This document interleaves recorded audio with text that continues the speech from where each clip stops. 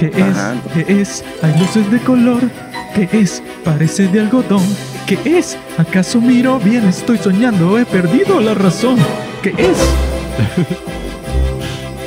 ¿Qué es? ¿Qué es? Hay algo que está mal. ¿Qué es? ¿Quién conta sin parar? ¿Qué es? Las calles están llenas de criaturas, todas ríen muy felices. Estás loco ya que dices tú que ves. ¿Qué es? Los niños se divierten, a nadie veo pelear, construyen los juguetes y no hay nada fantasmal. Con todo y tanta nieve ya no siento el frío más. Me cala hasta los huesos un calor que me dabas. Hay más, ¿qué es? Un muérdago colgó. ¿Besar? ¿A quién se le ocurrió? Genial. Están todos reunidos, amigables y conviven tan cordiales. ¿Por qué? ¿Qué es? Aquí un árbol puedo ver. Y bien, no acabo de creer. ¿Por qué? Lo visten con mil cosas tan hermosas y esas luces de color que a todos llenan con amor. Alguien explique, por favor. Divertidos, divertidos, todo es lo que pedí. Me doy. Hay más. ¿Por qué? Ya es hora de dormir. Y ve, no hay monstruos por salir. Ningún fantasma que les tire del cabello. Todo aquí es tranquilo y bello en su mundo del ensueño. Ah, ¿Por qué? Espantos, pesadillas y las brujas, ¿dónde están? No encuentro lo que busco, solo hay felicidad. No hay gritos ni disgustos, todo es casi celestial. El aire huele dulce, todo aquí es tan especial. Amor, calor, hay a mi alrededor y yo estoy mucho mejor. Jamás pensé que llenaría el vacío que profundo en mí soy tan feliz. Me gusta y me gusta y me gusta por mi bien. Quiero saber, debo saber en dónde estoy, por dónde voy y qué es. ¿Qué es? Ajá. Se fue el carajo al final. Ciudad Navidad. Hermoso. Bueno amigos, ahí lo tienen. Esto es lo que llamo arte. Y ahora la segunda canción. No, ahora viene eso, la recreación de toda la película desde el principio, desde lo de esto es Halloween, todo eso. Cada quien tiene un guion de la película y este va a ser como Exacto. una radionovela. Yo soy Jack y tengo como tres voces más y cada uno de ustedes tiene como cuatro más. y entonces eso, nuestro invitado puede ser Sa- Santa Atroz, tú puedes ser eh, Sally, la chica, Yo soy Boogie Boogie. Boogie Boogie. puede ser las dos, puede ser la tipa y Oogie Boogie. Y yo puedo ser los tres niños, esos que son los fanáticos de Oogie Boogie. El alcalde, que tiene la misma voz del tipo de Lilo y Stitch. El alcalde es que si te das cuenta, tiene doble cara, como todos los políticos, tiene la cara que le muestra al público y la cara real es todo oscura, así, toda sucia. Harvey dos caras. Bueno amigos, este es nuestro capítulo especial de Halloween, el que hacemos cada año con nuestro gran amigo y primo que se llama Guillermo Alejandro Rivero Orellana. Saludos amigo. Buenas noches. Este tipo es tan enfermo. O sea, él, él es alguien que eso puede, o sea, asesino serial, eh, todo serial, ladrón, o sea, todos los crímenes que existen, él los ha cometido. Porque es un tipo oscuro, es así como un demonio. Es un hombre con una mente macabra y tenebrosa Y que como- conocemos desde toda nuestra vida. Y como todos los enfermos, el tipo, bueno, eso pues, le encantan las películas de terror porque él quisiera eh, practicar todas las cosas que él ve ahí. Entonces, por eso es que está aquí con nosotros por tercera vez en su vida. ¿Cómo te sientes en este gran honor? ¿Cuántos halagos? Claro que me siento tan especial en este, en este día tan oscuro.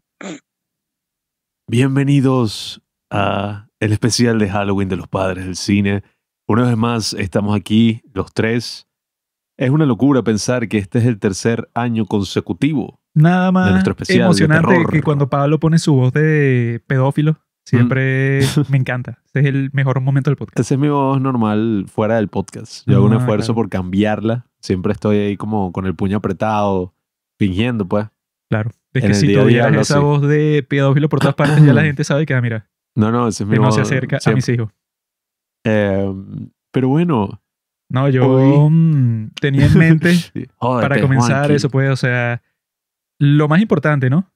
Lo que está en juego. Lo que está en juego ahorita es la vida, porque nuestro camarada aquí, este tipo, eso, el demonio aquí, él vive en los Estados Unidos de América, en el estado de Florida. Entonces ahí nos están diciendo nos estaban llegando reportes de los corresponsales que nosotros tenemos en Florida que estaban diciendo que allí hay el gran huracán Ian, que es muy peligroso. Y él nos va a contar, bueno, cuál ha sido su experiencia con eso, porque claro, o sea, lo más importante es eso, la vida. Correcto. Pero bueno, la- fue una noche como cualquiera, ¿sabes? Oscura, con viento súper fuerte, ráfagas, relámpagos, gritos de mujeres Coño, o de hombres, cualquier cosa. Pero más, más que todo el terror de no saber si uno va a sobrevivir al día siguiente o si uno va todavía a tener sus cosas encima. Ya sabes, un, un- un típico lunes o martes allá en, en Caracas. pero ¿qué fue lo que viste de cerca así que tú pensaste que no, bueno, este huracán va a ser el fin de todos nosotros? Vi una vaca volar como Dorothy.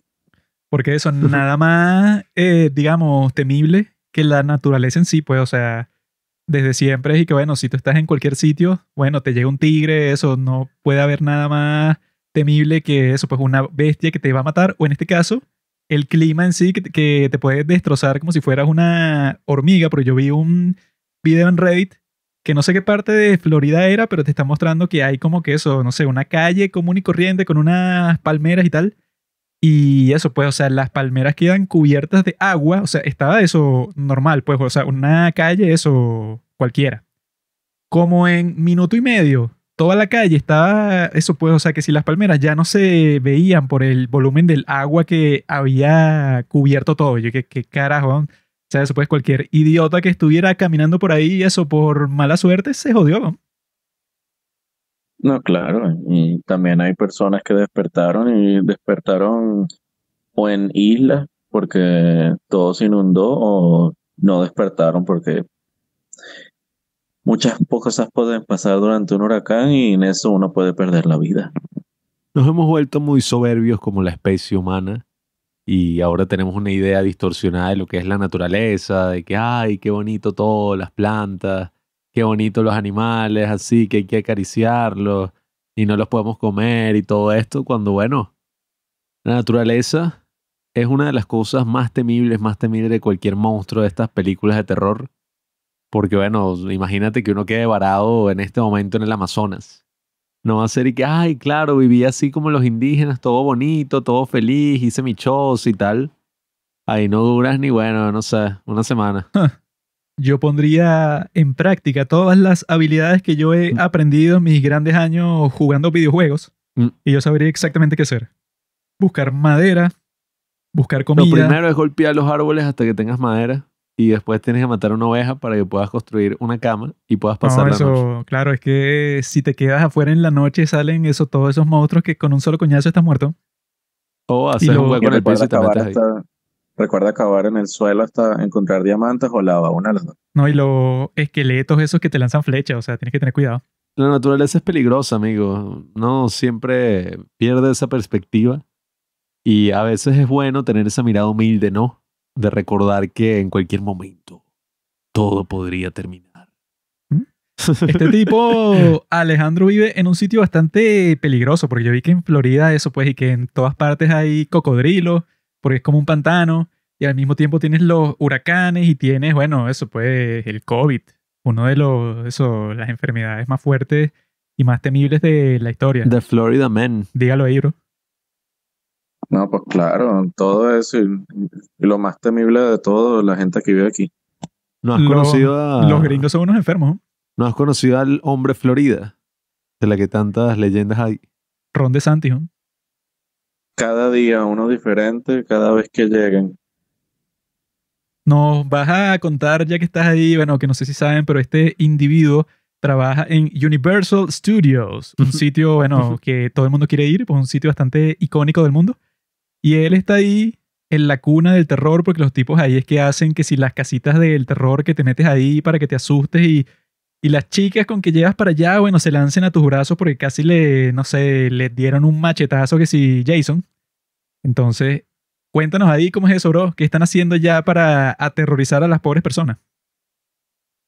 No, bueno, eh, cada año aquí en, Universal se ponen a maquinar en sus mentes a ver eh, qué casas crean para este año. Cada vez son, son 10 casas y de cuales de cuatro son de películas y, y otras cosas que uno conoce, mientras que las otras seis son ideas originales. Y este año eh, las casas principales han sido la de Halloween, que es la de la película con Michael Myers, eh, The Weeknd, eh, el cantante. Algo que a ellos se les ocurrió debido a los videos musicales que él pone. Ah, claro, claro. Claro. Eh, la otra es eh, de los monstruos de Universal, como la momia, el hombre lobo y, Drácula peleando. El monstruo de la Laguna Negra. Ah, ojalá estuviera ahí. Eso fue el año pasado. ¿Y tú has entrado a algunas de estas casas? ¿no? A esas tres que te dije. ¿Qué tal fue la experiencia ahí? Fue buena. Eh, si entras a las casas, lo bueno es que es como si entraras a la película en sí, pues. Eh, tratan de hacer la, eh, la casa tan, tan parecida a la película que crees que estás adentro. Pero, ¿te asustaste? ¿Gritaste? No, ¿tú crees que yo me asusto con eso? Coño. Porque yo vi unos videos ahí en YouTube que eso, que entraban grupos grandes de gente para estas casas y los tipos dentro de ahí, bueno, e-, eso era que si un griterío y un mega susto que si en cada esquina porque te sale que si la momia así que... Entonces todos que, ay Dios mío, y eso que si se lanzan al piso y tal, o sea, se ve divertido ir así en grupo para que eso, te mueras del susto. Pero los carajos que trabajan en eso no te pueden tocar, ¿no? Creo que es una regla así. Exacto, no. Eh, ellos no te pueden tocar, pero se pueden acercar. Eso es lo único. Y si quiero que me toquen, ¿qué hago? Eso cuesta extra. Esa es la pregunta, si es con consentimiento o sin consentimiento. Cuesta extra. y yo quiero que me toquen 5 dólares más. Y que, ah, bueno, ok. Drácula abusó sexualmente de Juanqui. Ah, no, pero no sería... Exacto, no es abuso, pero lo estoy pagando. sería fino ir a eso, pues, a esas casitas de terror, porque yo me acuerdo que en nuestro colegio hacían algo parecido cuando era ah, que sí, la feria escolar. Entonces hacían eso, pues, o sea, que si en un salón lo decoraban todo con cosas de Halloween, eso, pues, si con calabazas, eso, con cortinas negras para que no vieras nada. Entonces tú entrabas así que sí por un pasillo y en cada esquina, bueno, había un tipo que sí con el disfraz más pirata, más chimbo del mundo, así que, ah", pero esos no tenían ninguna regla de no tocarte. o sea, los tipos en la esquina era que eso, pues, o sea, para asustarte más fuerte, cuando salían de la esquina, eso te batuqueaban todo y te lanzaban vainas, pues, o sea, que si papelillos o, o, eso, pues, que si la tangana esa, ¿no? O sea, que es así como que una ¿Cómo es que se llama eso? ¿Qué es lo que sale de la como lata una espuma Y... Como una espuma que te la lanzan así, o sea, pero que si la cara como que para asustarte, entonces tú salías de esa casa del terror vuelto mierda, pues así. No, sí, eso, pues, o sea, todo lleno de huevo, nada así, pero no es que... todo lleno de huevo. no, es que no, la regla de no tocarte, ahí sí es que no, bueno, te jodiste, pues. Bueno, yo me acuerdo una de las casas esas que hicieron que habían como que unos chamitos así disfrazados de monstruo y broma y uno de los papás empezó como que a hacer chistes dentro de la casa, empezó a hacer que ¡Uh! así. Y uno de los chamos que estaba disfrazado, pues que estaba asustando, se asustó tanto él mismo que se puso a llorar. y tuvieron que parar todo y que no, ¿sabes? que no estás al chavo. Pero eso sí era una locura ahí, porque eso sí es y que, bueno, no hay que Jason, no hay que el fantasma. O sea, que si un pendejo ahí, no sé qué, si con una sábana encima, pero que se toma muy en serio lo que está haciendo porque, te, porque no es que te asustas, sino que te ataca, pues. Sí, sí, o sea, no es como que, ¡buh! Sino que los hechos sí, ¡eh! te empiezan a batuquear, se te acerca, te, grita, te empuja y es que, mira, weón, eso, pero es gracioso porque tú conoces a los que están disfrazados porque son, que sí, el obrero del colegio, el conserje, el, el de la cantina. Entonces eso no, no da tanto miedo, pero era una experiencia interesante. Yo creo que el mayor susto ¿no? que yo tuve en mi infancia y que ha tenido consecuencias, bueno, muy fatales, ¿no? Para mi desarrollo ya en la adultez. Ah, bueno. Fue en una de esas casitas del terror que eso fue, bueno, en un club ahí que nosotros estábamos. Y yo me acuerdo que fui que, ay, las fiestas de Halloween, tal, hay una casita del terror. Y, y entonces entramos mi papá, Juanqui y yo. y estábamos entrando en la casita y es raro, pero yo lo recuerdo así, coño, como si fuera grabado una película de terror así, pero perfecto. Y que, ah, pero yo tenía como, no sé, ocho años, seis años. Y entonces yo iba agarrado de la mano de mi papá y Eric, ay, mira la bruja con su caldero. Y, ah, ah, ah, ah, niños, bienvenidos. Así. Todo era una estupidez, pues. O sea, yo medio, medio daba miedo, pero no mucho. Y al final yo me acuerdo que había como que un tipo ahí tirado y dije, ay, qué feo, un tipo muerto. Mierda. Y entonces yo dije, ay, entonces nada, o sea, ya era la salida y estábamos a punto de salir y el tipo lo que hacía es que pretendía estar muerto y al final se paraba y te Ah, agarraba. Ya ¿te me acuerdo. Que eso, que hay como que Mierda. un tipo tirado Eso en la horrible. salida. Porque tú ya piensas que tú ya estás listo, o sea, que ya te salvaste de los sustos. Entonces hay un maldito que está tirado en la salida, pero tú lo ves como si fuera que, ah, bueno, Sí, no sé, pues, o sea, como ay. que un muñeco.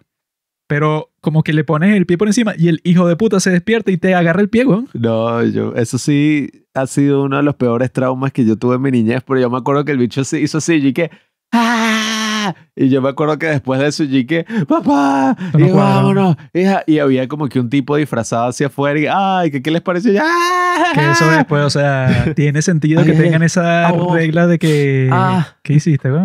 ah, ah, me está dando un calambre. ¡Ah! ¡Ah! Ignoren al retrasado. ¡Ah! Silencio. Eso sí da miedo. ¡Ay, mi pierna! Puedes sufrir en silencio, gay. No, ah. ¿Tú sabes quién te dio el Ah, calambre? no. Te lo di yo. Ay, ay, ay. Así que Carajo. no continúes. Ay, maldito trauma. Cállate, Ay. cállate. No, Ah. que, Ah. que sufras en silencio, gay, o, o te voy a dar otro. Ok, Ay, me estaba hablando. silencio. Por eso es que existe esa regla de que no te pueden tocar, Ay. porque si no, eso, si no, no hay estándares y puede pasar todo tipo de tragedias. Deja de gemir, deja de gemir. Ah, wow, wow. Ay. Aguanta tu dolor como un hombre. Ay. ¿Cómo harías en la Ah. guerra? oh? ¿Te pondrías a gritar así y que los malditos japoneses te Ah. encuentren en una trinchera? No, te lo aguantarías. Si vuelves a gritar, te voy a causar otro. Eso lo hice yo. Y tú, regala hablar de ese trauma. Alejandro, ¿tú tienes alguna, algún trauma así, no sé, alguna historia así que qui- quizá porque tú eres tan fan del terror, quizá algún momento de tu niñez fue así eso, que te aterrorizaste, quisiste recrear ese sentimiento al ver todas las películas de terror que han existido en este mundo?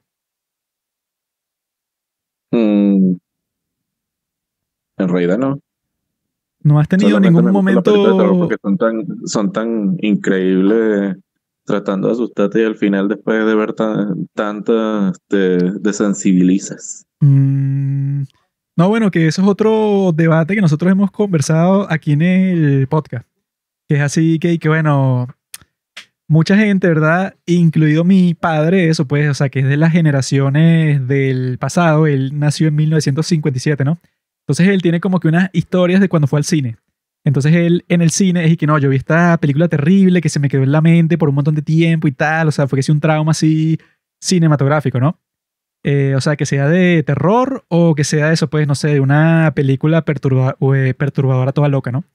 Pero lo que nosotros hemos notado de los tiempos presentes es que eso ya no existe tanto porque el día de hoy en el internet tú tienes acceso a eso, pues, o sea, si eres así de la gente que le gusta que si el gore o de la gente que está que si en estas páginas así de que ves a la gente que la matan o así que y que no, bueno, eso, los asesinatos de los carteles y las torturas y tal, o sea, yo no soy de ver esas cosas, pero sí he visto un montón de videos en donde matan gente, ¿verdad? Pero no así de, de tortura, sino que los matan así, eh, que sí, eso, no sé, que si una cámara de seguridad en una esquina, ¿no? Y entonces eso, no sé, un tipo que está que sí cruzando la calle y lo atropellan así, pero súper violentamente, ¿no? O sea, yo he visto un montón de videos de ese estilo, pero no he visto los otros, o sea, que si son eso, pues no sé, que si un clip de un chamo en un stream, bueno, que se mete un tiro en la cabeza con una escopeta, pero lo hace que si frente a la cámara, ¿no? O sea, hay un montón de historias así, o sea, que no sé cómo existen tantas, porque yo en Reddit, yo he visto que existen eso, pues, o sea, pero de sobra,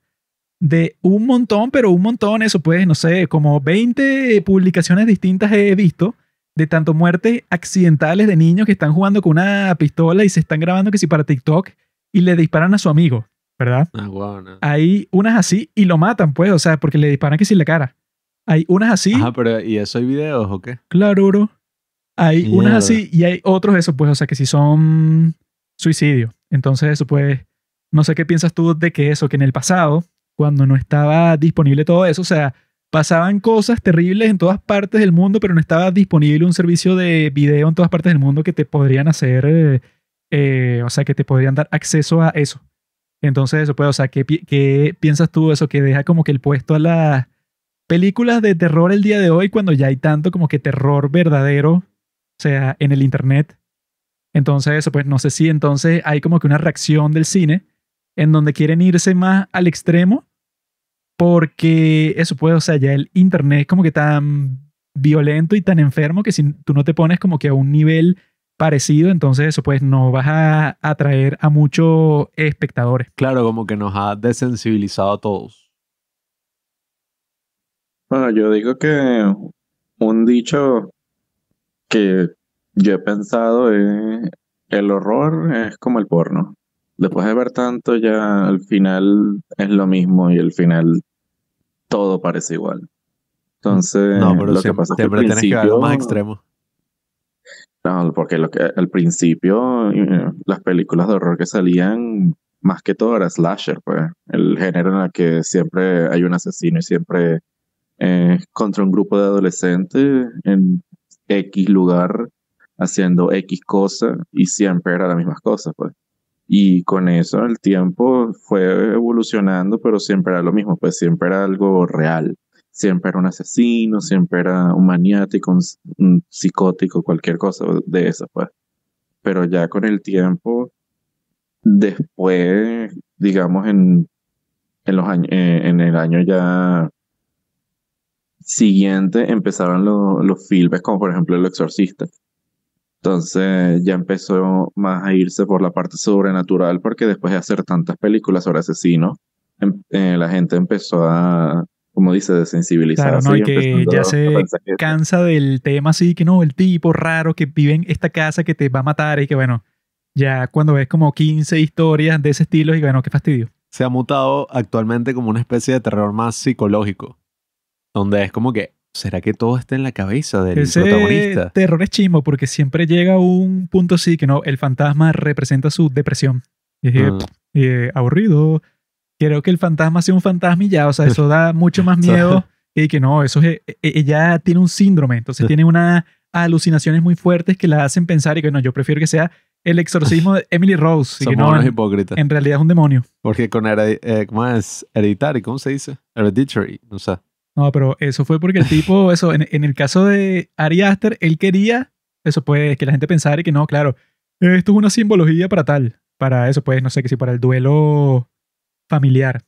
Pero, pero cuando tú mismo te pasas por el trasero tu simbología, es como que bueno, no cuadra. Ah, bueno, ustedes han visto una película eh, se estrenó el año pasado, eh, Malignant, de James Wan. No lo he visto. Ah, no, sí, que ese era como un homenaje, ¿no? A las películas así de los 70. ¿Qué tal es? Te digo, al principio me parece interesante, pues. La, eh, ¿Importa si digo spoiler o qué coño? Bueno, spoiler para Malignant, amigos, tengan cuidado. El- eh, la película al principio se veía interesante porque era, eh, era una película en la que la protagonista empezaba a tener eh, visiones de, de un asesino matando gente, pues. Y ella no podía hacer nada sino solamente ver. Y cuando ella estaba eh, presenciando eso, ella no estaba físicamente en el lugar, sino ella estaba como viendo eh, cómo pasaba todo. Y al principio a mí me parece interesante porque tenía su aire supernatural, eh, o sea, interesante porque era algo diferente. No era lo mismo de, ay, el asesino este, o ay, un fantasma. O sea, era algo interesante que trataba de combinar las dos cosas. Lo único fue que ya al final, cuando empezaron a explicar por qué pasaba eso y, ugh, porque como la- el nombre de la película, Malignant, era que al final la, eh, la protagonista tenía un hermano gemelo y el hermano gemelo era congénito con ella. Entonces el hermano lo tenía ella atrás, pe- eh, pegado pues en la espalda. Coño. Sí, y al parecer Ah, era eh, siamés.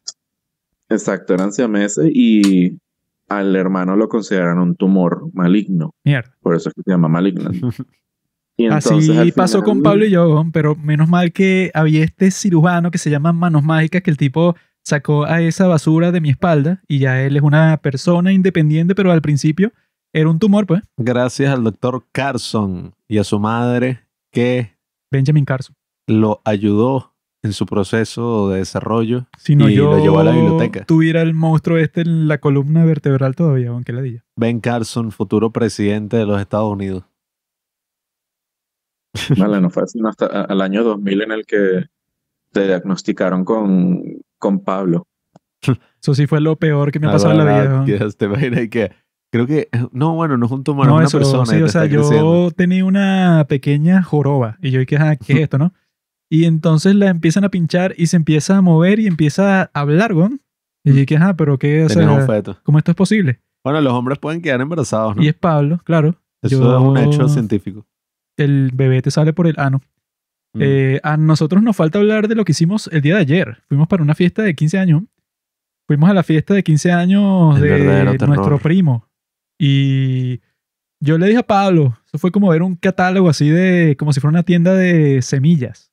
Tú cuando vas a una tienda de semillas, no han crecido, pues, o sea, no son árboles que dan fruto, pero tú ves y dices, coño, mira, esto en el futuro, si tú lo lanzas y lo riegas y va creciendo y creciendo, puede dar un buen fruto. Porque eso, vimos unas muchachitas, eso, 15 años así, que Ah. eso, yo creo que uno puede decir, eso sin ninguna controversia, que una adolescente de 15 años es bonita. O sea, eso, mira, tú la ves y dices, es bonita, ¿verdad? En ningún sitio ahí se implica que tú quieres una relación, que quieres tener sexo, nada de esas cosas, porque yo tengo 25 años, pues eso no sería de buen gusto, pero puedes decir, y coño, esa muchachita de 15 años se ve bonita. Como puedes decir, digamos, yo puedo decir claramente que si de Henry Cavill, Henry Cavill es un tipo bien guapo, bien sexy, que si 10 de 10. Pero yo soy un hombre heterosexual y no quisiera tener sexo con él. Pero puedo decir, es un tipo guapo. O sea, eso no implica que yo vaya a tener sexo con Henry Cavill. Incluso si lo intentara, lo más probable es que no tendría éxito. Eso tiene un nombre legal, lo que tú acabas de decir. ¿Qué? Causa probable. Pasa lo, que mismo. usan los policías para entrar así en un, detener a alguien, entrar así en una casa. Pasa lo mismo con estas muchachitas, pues. O sea, nosotros vimos unas cuantas ahí que yo estoy, coño. O sea, y eso, pues, yo como que me dio un flashback así a mis tiempos del bachillerato, pues yo fui a varias fiestas de 15 años. Y mi deseo y mi bendición para todos esos muchachos que estaban ahí en esas fiestas es que logren todos sus objetivos con respecto Es- a la seducción de las hembras que estaban ahí, porque esa es una época bastante interesante para un muchacho heterosexual eh, de esos tiempos, porque eso, yo en mis tiempos, yo le di, ¿verdad? Pensando en mis tiempos, le di un consejo al primo este nuestro, que yo le dije que, mira, bro, o sea, yo vi que él está ahí como que eso, tratando de eh, conquistar a varias chicas de la fiesta, entonces yo le dije mira, bro, uno cuando está en esa edad, uno tiene, no sé, como que si un montón de series y películas de adolescentes en la cabeza, vamos, o sea, que eso te influencia. Entonces tú estás pensando que tú vas a terminar eso pues con la reina del, ba- del baile, o sea, que eso es la versión gringa. Pero la versión de Latinoamérica y que bueno, con la que está más buena, eso es la más bonita de toda la fiesta, ¿no? Entonces como tú tienes ese objetivo como si fueras el protagonista de la película, ahí tú pierdes muchas oportunidades cuando estás en esa edad. Entonces yo le, yo le dije que mira, bro, si tú tienes chance, ¿verdad? Chance así directo, realista, con una chama, eso pues que no es la más bella de todo el salón, pero no está mal y a ella le gustas tú, bueno, quédate con eso, o sea, agarra eso lo que tiene.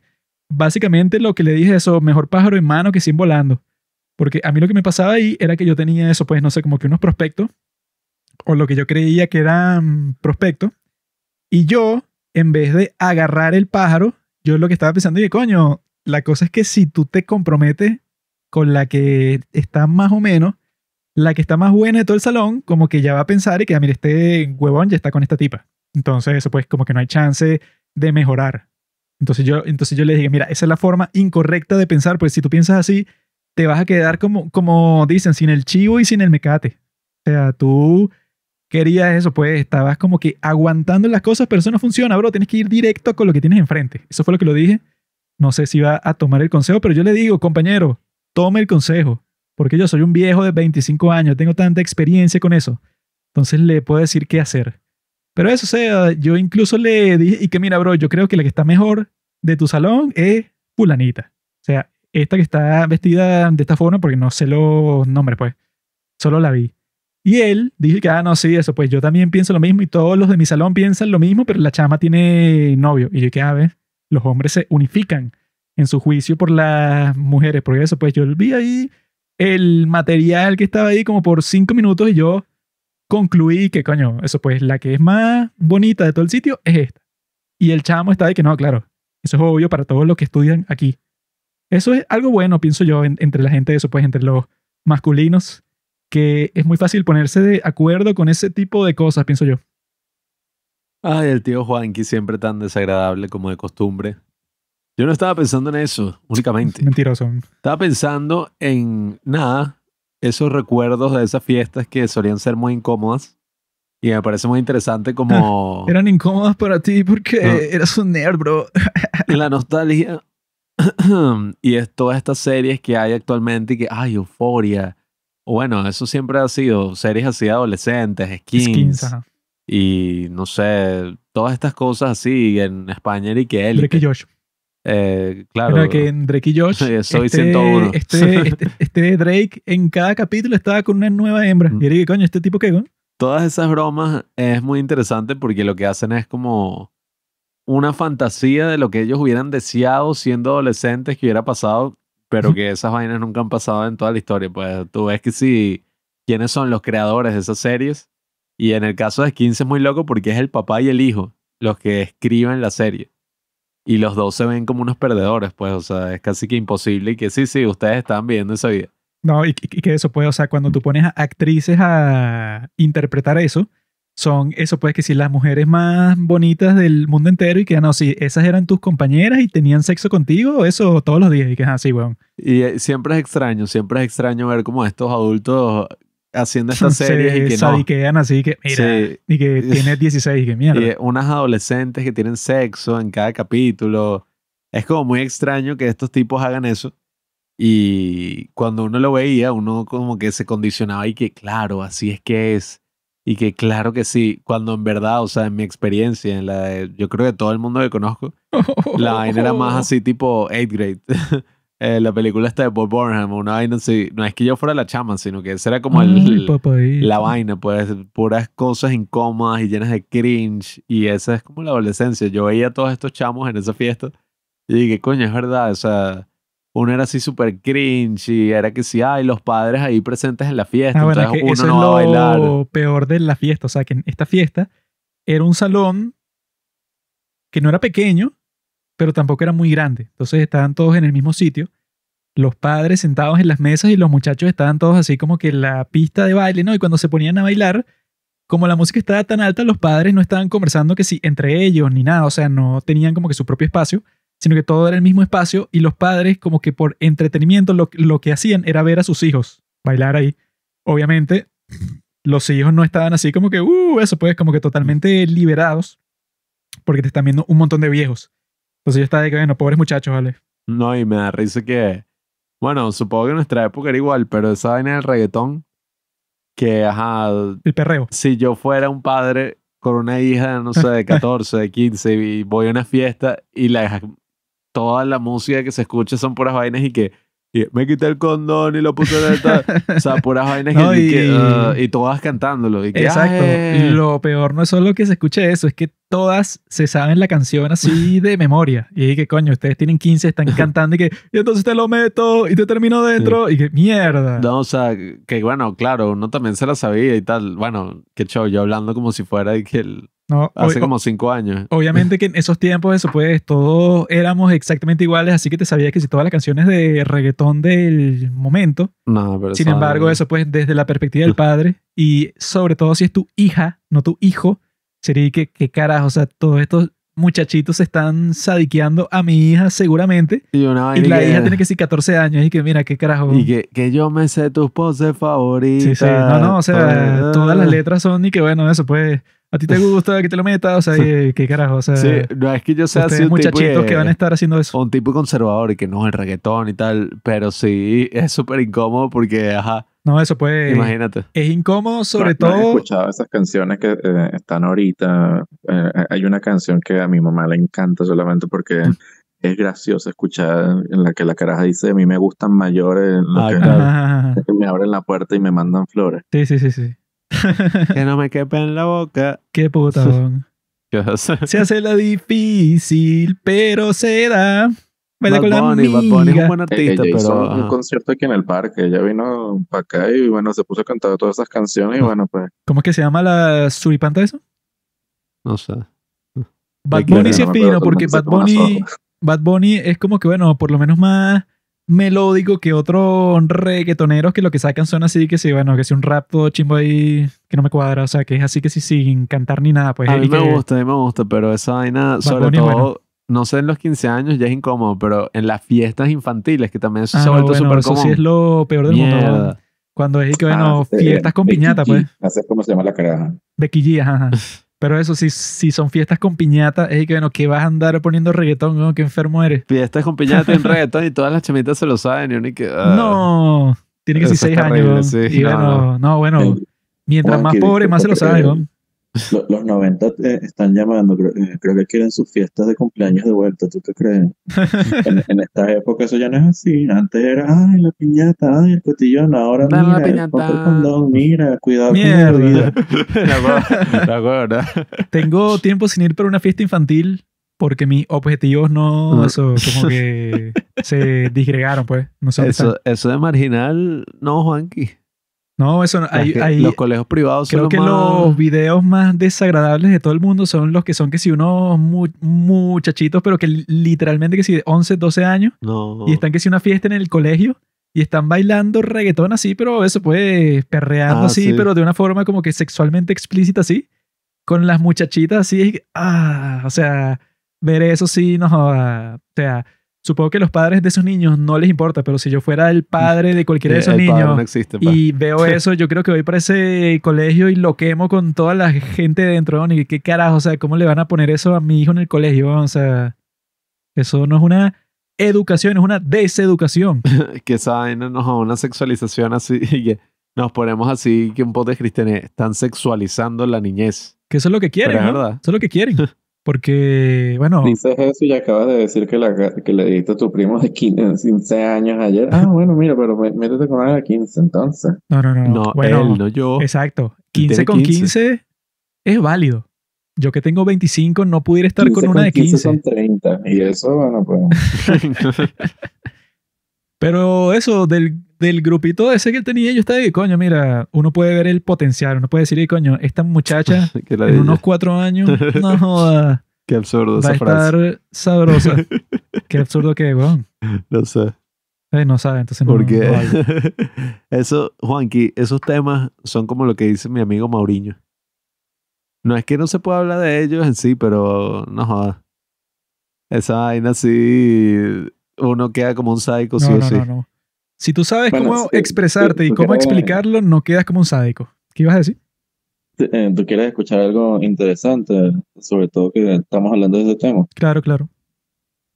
que eh, hay personas que dicen, y bueno, si te pones a ver las películas de horror de- del tiempo pasado, que eran como una táctica para hacer que, que las personas no tuvieran sexo eh, temprano. pues, Ah, sí.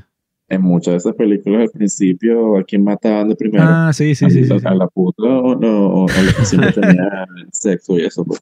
Como, Claro, sí. en, como en Cabin in the Woods, que, que bueno, eso pues el cliché es que no, los adolescentes que están teniendo sexo y justo ahí como los tipos no están eso pendientes del entorno, llega el tipo con el machete y que bueno, ahora Claro. es que van a morir. Esa película es una parodia de toda esa práctica que se usó que si, no sé si diría en los, bueno, en los 80, yo creo que fue que si lo de Jason, esta de Pesadilla en la calle del infierno, todas estas películas de los años 80, porque bueno, existía como que una especie de cultura así conservadora, no tan fuerte que si Ah, eso y que. McCarthy. eh, Eso, que lo que vamos a conversar ahorita cuando tú hables sobre la película McCarthy, que tú McCarthy. escogiste, que eso pues que fue eh, Texas Chainsaw Massacre, esa película yo me sorprendí cuando vi y que no, esa fue prohibida como por 20 años en Inglaterra, Alemania, en Australia, como en un montón de partes. Fue que no, esa se terminó estrenando que sí en 1993,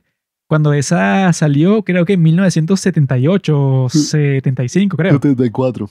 Eso puede, o sea, 74. Pero fue que no, bueno, en Inglaterra fue prohibida por 10 años.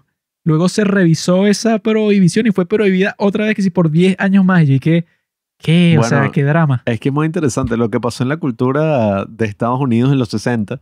Que bueno, Estados Unidos tiene una especie de hegemonía cultural que bueno, lo que pasa en esos países, bueno, lo que pasa en Estados Unidos, pasa en nuestros países. Pues así, si pasa ahorita, antes también muchísimo.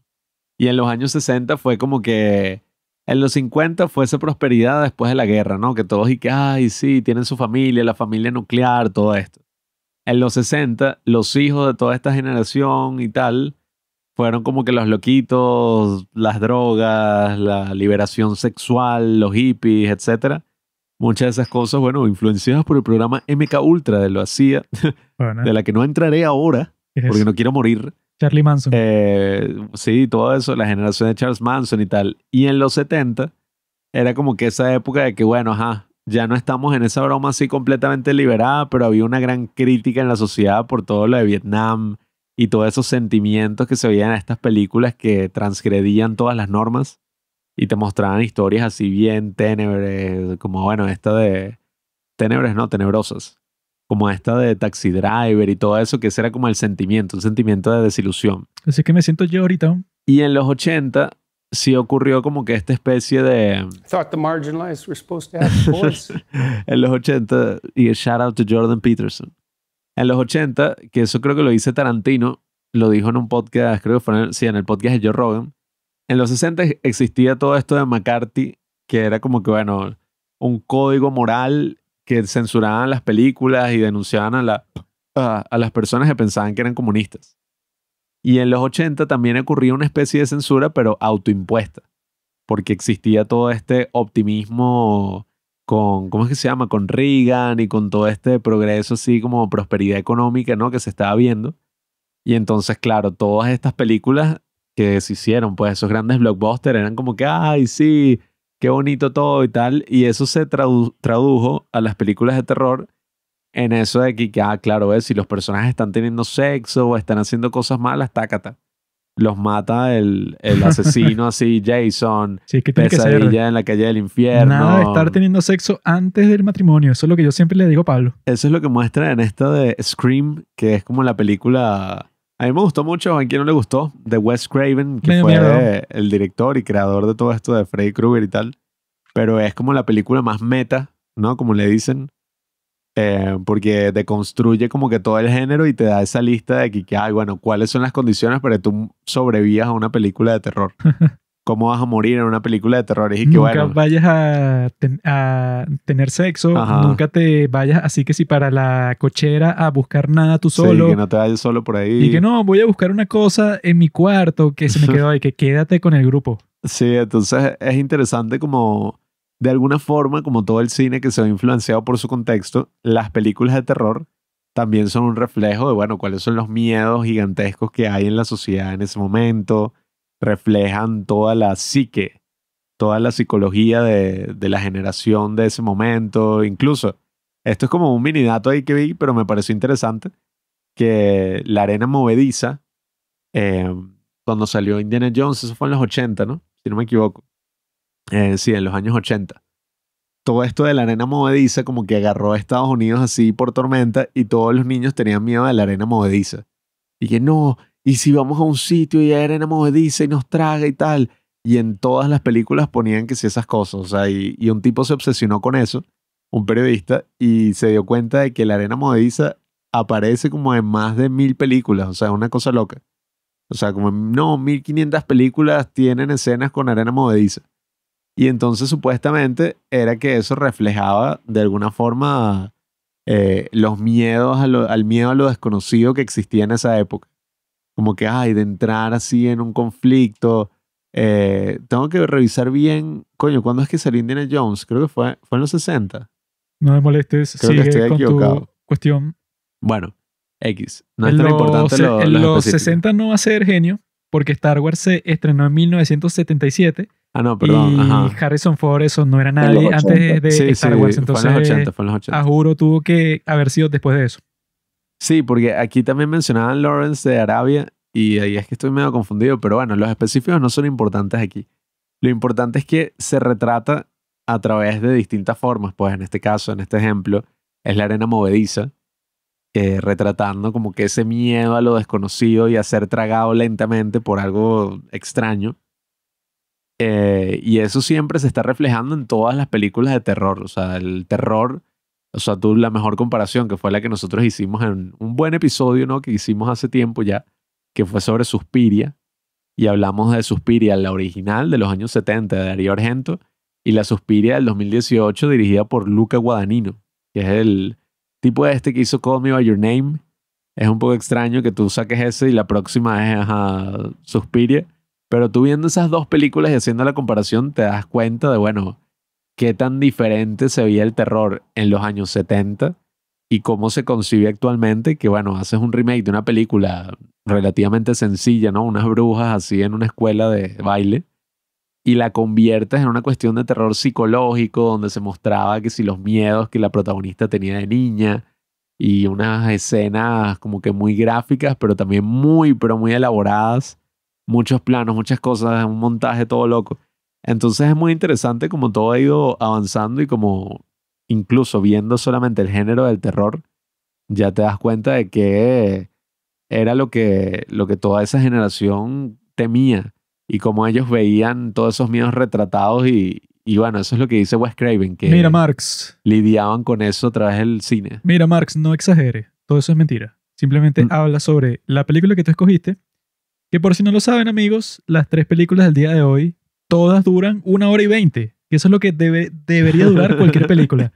Texas Chainsaw Massacre. Tienen también Rec de España, que fue la que escogió nuestro invitado del día de hoy. Y también tenemos la de El extraño mundo de Jack, que es la mía. O sea, no es de Y España, eso todas es de duran Cataluña. una hora y veinte. O sea, esa es la duración perfecta para cualquier película. La puedes ver súper rápido. Y todo lo que vas a meter ahí, como tienes tan poco tiempo, todo es así súper perfeccionado. Pues tú dijiste que no, bueno, los guiones siempre comienzan que si de tres horas, pero después tú vas cortando todo y cortas y cortas y todo, cortas hasta que llegas al punto perfecto que, bueno, dura una hora y veinte. Entonces las tres películas las pueden ver súper rápido. Rec está en YouTube. El extraño mundo de Jack está en YouTube. Texas Chainsaw Massacre también está en YouTube, pero es la versión en españoleto de España. Entonces, si, si quieren verla en españoleto de España, pueden hacerlo, pero no lo recomendamos porque, bueno, nadie quiere Y- ver. Yo creo que ni los propios españoles quieren ver las películas en el españoleto de su propio país, pues. Estas tres también se encuentran en todos los servicios de streaming, así que estamos asegurados. Disney Plus tiene el mundo de Jack y en los, las otras dos están en Amazon, ¿no? Amazon Para Prime. comenzar con todo eso, el nerd de aquí va a comenzar con su película Texas Chainsaw Massacre y nos va a decir por qué la escogió y por qué, bueno, es una joya, un clásico del terror de toda la historia. Amigos, amigas, esta película, ¿verdad? Yo no la había visto y la vimos para grabar nuestro episodio de Halloween, el primero de todos. Eso fue hace ya dos años. Y me sorprendió mucho porque creo que es la película más orgánica eh, que he visto en el sentido de que parece, o sea, está grabada, ¿no? En, en los años 70, muy bajo presupuesto, fueron 60 mil dólares para la producción. Y el estilo que tiene es un estilo muy directo y un estilo muy auténtico. No se siente para nada así como que hay una película. Creo que es el equilibrio perfecto entre una buena producción, ¿no? De estas películas de terror eh, clásicas, ¿no? De los años 80 o que son así como que, ay, claro, el monstruo y está bien grabada y todo.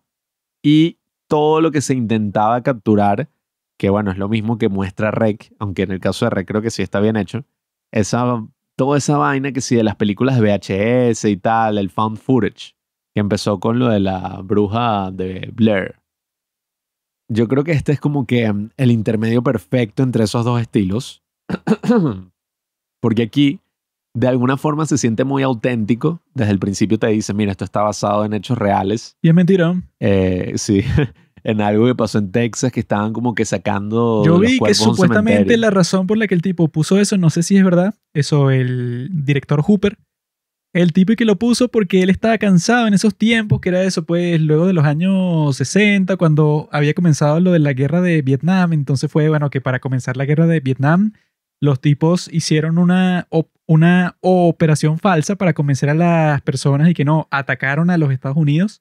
Y por eso es que nosotros te- tenemos que entrar para la, la guerra, que era mentira. Sin embargo, los tipos hicieron toda esa farsa y bueno, que si la farsa, no sé, que si con Nixon, o sea, era un momento que el tipo no tenía una confianza, eh, eso pues, como que era inexistente, pues, la confianza que le tenía el gobierno de los Estados Unidos. Entonces el tipo, por alguna razón, Eric, no, entonces yo quiero comenzar mi película mintiendo también, como que para meternos en la atmósfera social de Mm. estos tiempos en donde todos nos están mintiendo. Entonces yo, al mentirle a ustedes, pero en una obra de arte como esta, de alguna forma estoy haciéndolo como que, que, se, de- que se den cuenta, pues, o sea, por- por- porque la gente como que al poco tiempo, Eric, bueno, es obvio que no está basado en ninguna historia real porque tú lo buscas en cualquier parte y no te sale nada de ninguna masacre de una familia, de unos enfermos con una sierra eléctrica, o sea, no sale nada así, sino que el tipo quería hacer como que un punto político y que no, mira, eso pues, yo les voy a mentir a ustedes, pero como que para que se den cuenta de la mentira más grande, que es la que les cuenta el gobierno para convencerlos, eso pues fue como que algo así medio contrasistema. Bueno, y, y es muy interesante porque tú lees la reseña que hizo Roger Ebert, el crítico de cine en 1974, y él dice como que, bueno, no creo que sea real, porque yo no leí nada así en los periódicos, y eso hubiera sido un gran escándalo. Entonces muestra como que, bueno, esas cosas, ¿no? De los tiempos pre-internet. O sea, que tú no podías confirmar 100%. Ujú. Porque bueno, no es que tú lo busques en, en Google y que no, fui para la biblioteca, busqué los periódicos que tenían Ajá. disponibles ahí y no encontré nada. Y que bueno, es una Que- búsqueda muy limitada. Ahorita uno está viendo una película y que basado en hechos reales. Y coño. Y lo primero que tú haces es que buscas en Google y que esto pasó y te sale la respuesta. No, esa vaina no fue así, en verdad pasó esto, punto. Pero todas estas películas tenían ese gran misterio y esta película se siente como algo muy real. Es incluso una película que, oye, uno quizás al verla la recuerda como que, ay, mira, esta es una vaina violentísima, o sea, un sangrero, amputaciones, decapitaciones, o sea, una vaina, pero oye, horrible. Pero cuando la ves, te das cuenta de que no tiene nada de eso.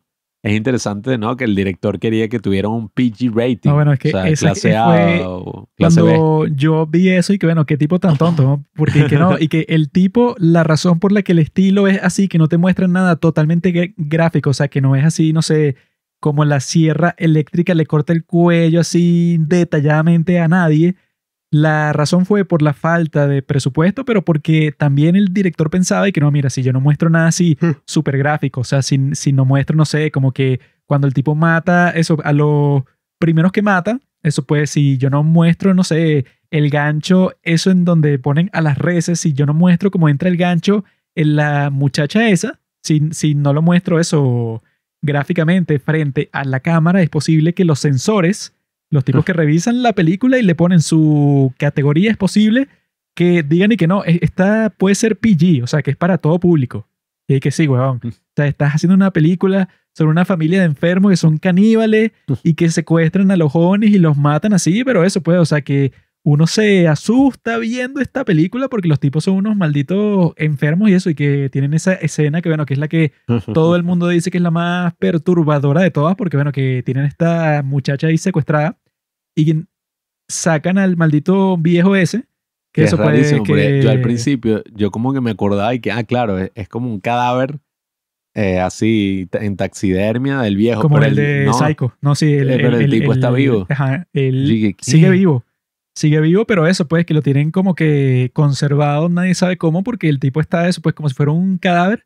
Pero eso, que yo vi que esa escena, o sea, que no sé cómo funciona eso, pero y que la grabaron y que por 27 horas seguidas, Ah, sí. entonces, bueno, en ese contexto y que todos los actores estaban y que todos asquerosos, sudando y que la comida que estaba en la mesa estaba podrida por las luces, o sea, que son tan fuertes que eso, que el calor era insoportable. Y los y actores y que que- salían a vomitar y volvían para seguir grabando. No, y que a la chica esta, pues, a la que tienen ahí secuestrada, ella como tiene que gritar tanto, bueno, después de gritar como por seis horas, la tipa estaba eso, pues, que sí, con unos niveles de estrés súper grandes. No, y Porque Rick, bueno, el- grita y sigue gritando y sigue gritando. Bueno, la garganta se te destruye, pues. El actor que interpreta a, a Leatherface dijo que el ambiente era como que tan raro y tan horrible, pues, toda esta comida ahí pudriéndose y todo esto así súper feo y el calor y todo, que él como que perdió un poco el conocimiento por unos, no sé, unos minutos y él dice que por unos segundos, o sea, unos momentos, él de verdad quería matar a la actriz.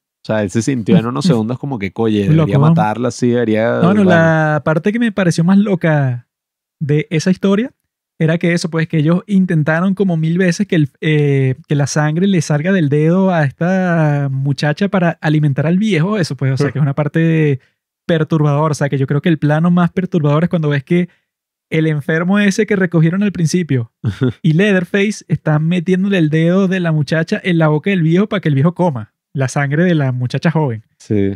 Ese plano yo creo que es el más enfermo de todos. Y le dan como que un martillo, ¿no? Y que, Y- toma, Ah, y no, que... Pero Ah. eso es después. Pero eso sí, sí, al- Y que a ella cuando llegó ese punto como que no funcionaba el efecto especial, que era un tubo que iba para el dedo para que le saliera la sangre falsa, ¿no?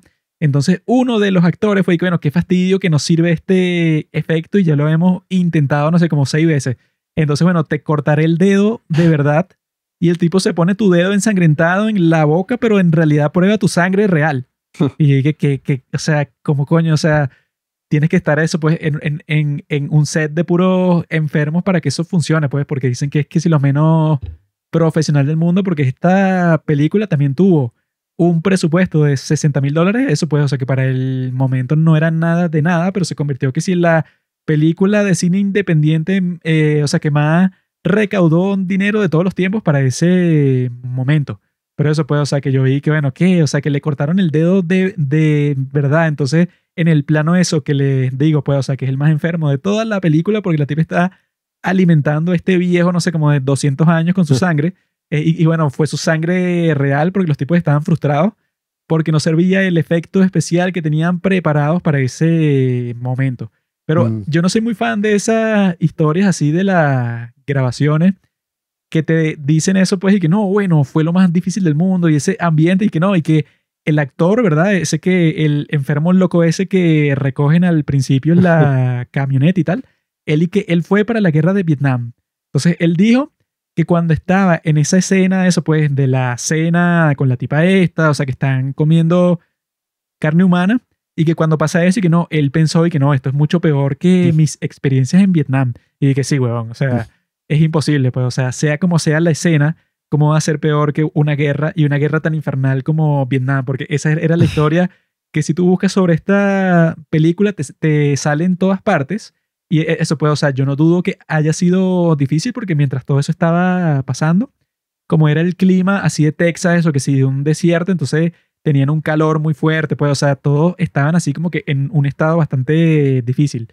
Sí, sin embargo, yo no soy muy fan de esas historias así como que todas show, pues, o sea, todas dramáticas y que no, bueno, para grabar esta escena, nosotros pasamos, mira, primero, no sé, unos meses de planeación y después la, la grabación fue, bueno, un infierno y duró eso, no sé, 30 horas y los actores salían a vomitar y no sé qué cosa, o sea, creo que con películas así tan populares y tan icónicas como esta, yo creo que eso es más que surge como un mito, pues, o sea, surge así como que, como eso, pues, una, una película que, bueno, que casi que cualquier persona del mundo la reconoce y que le hicieron secuela y le hicieron como tres remakes distintos. O sea, eso pues fue que sí la película de terror que comenzó que sí con toda la cuestión del género de, eh, de slasher.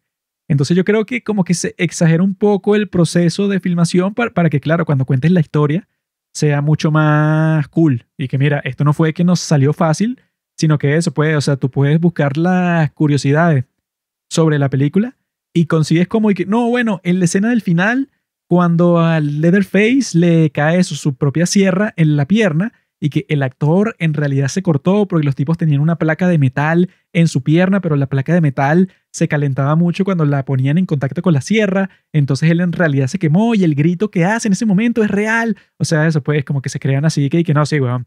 La filmación de esa película fue la odisea más difícil de la historia. Qué drama. Bueno, jódete, pues. No me huevo. No me lo creo.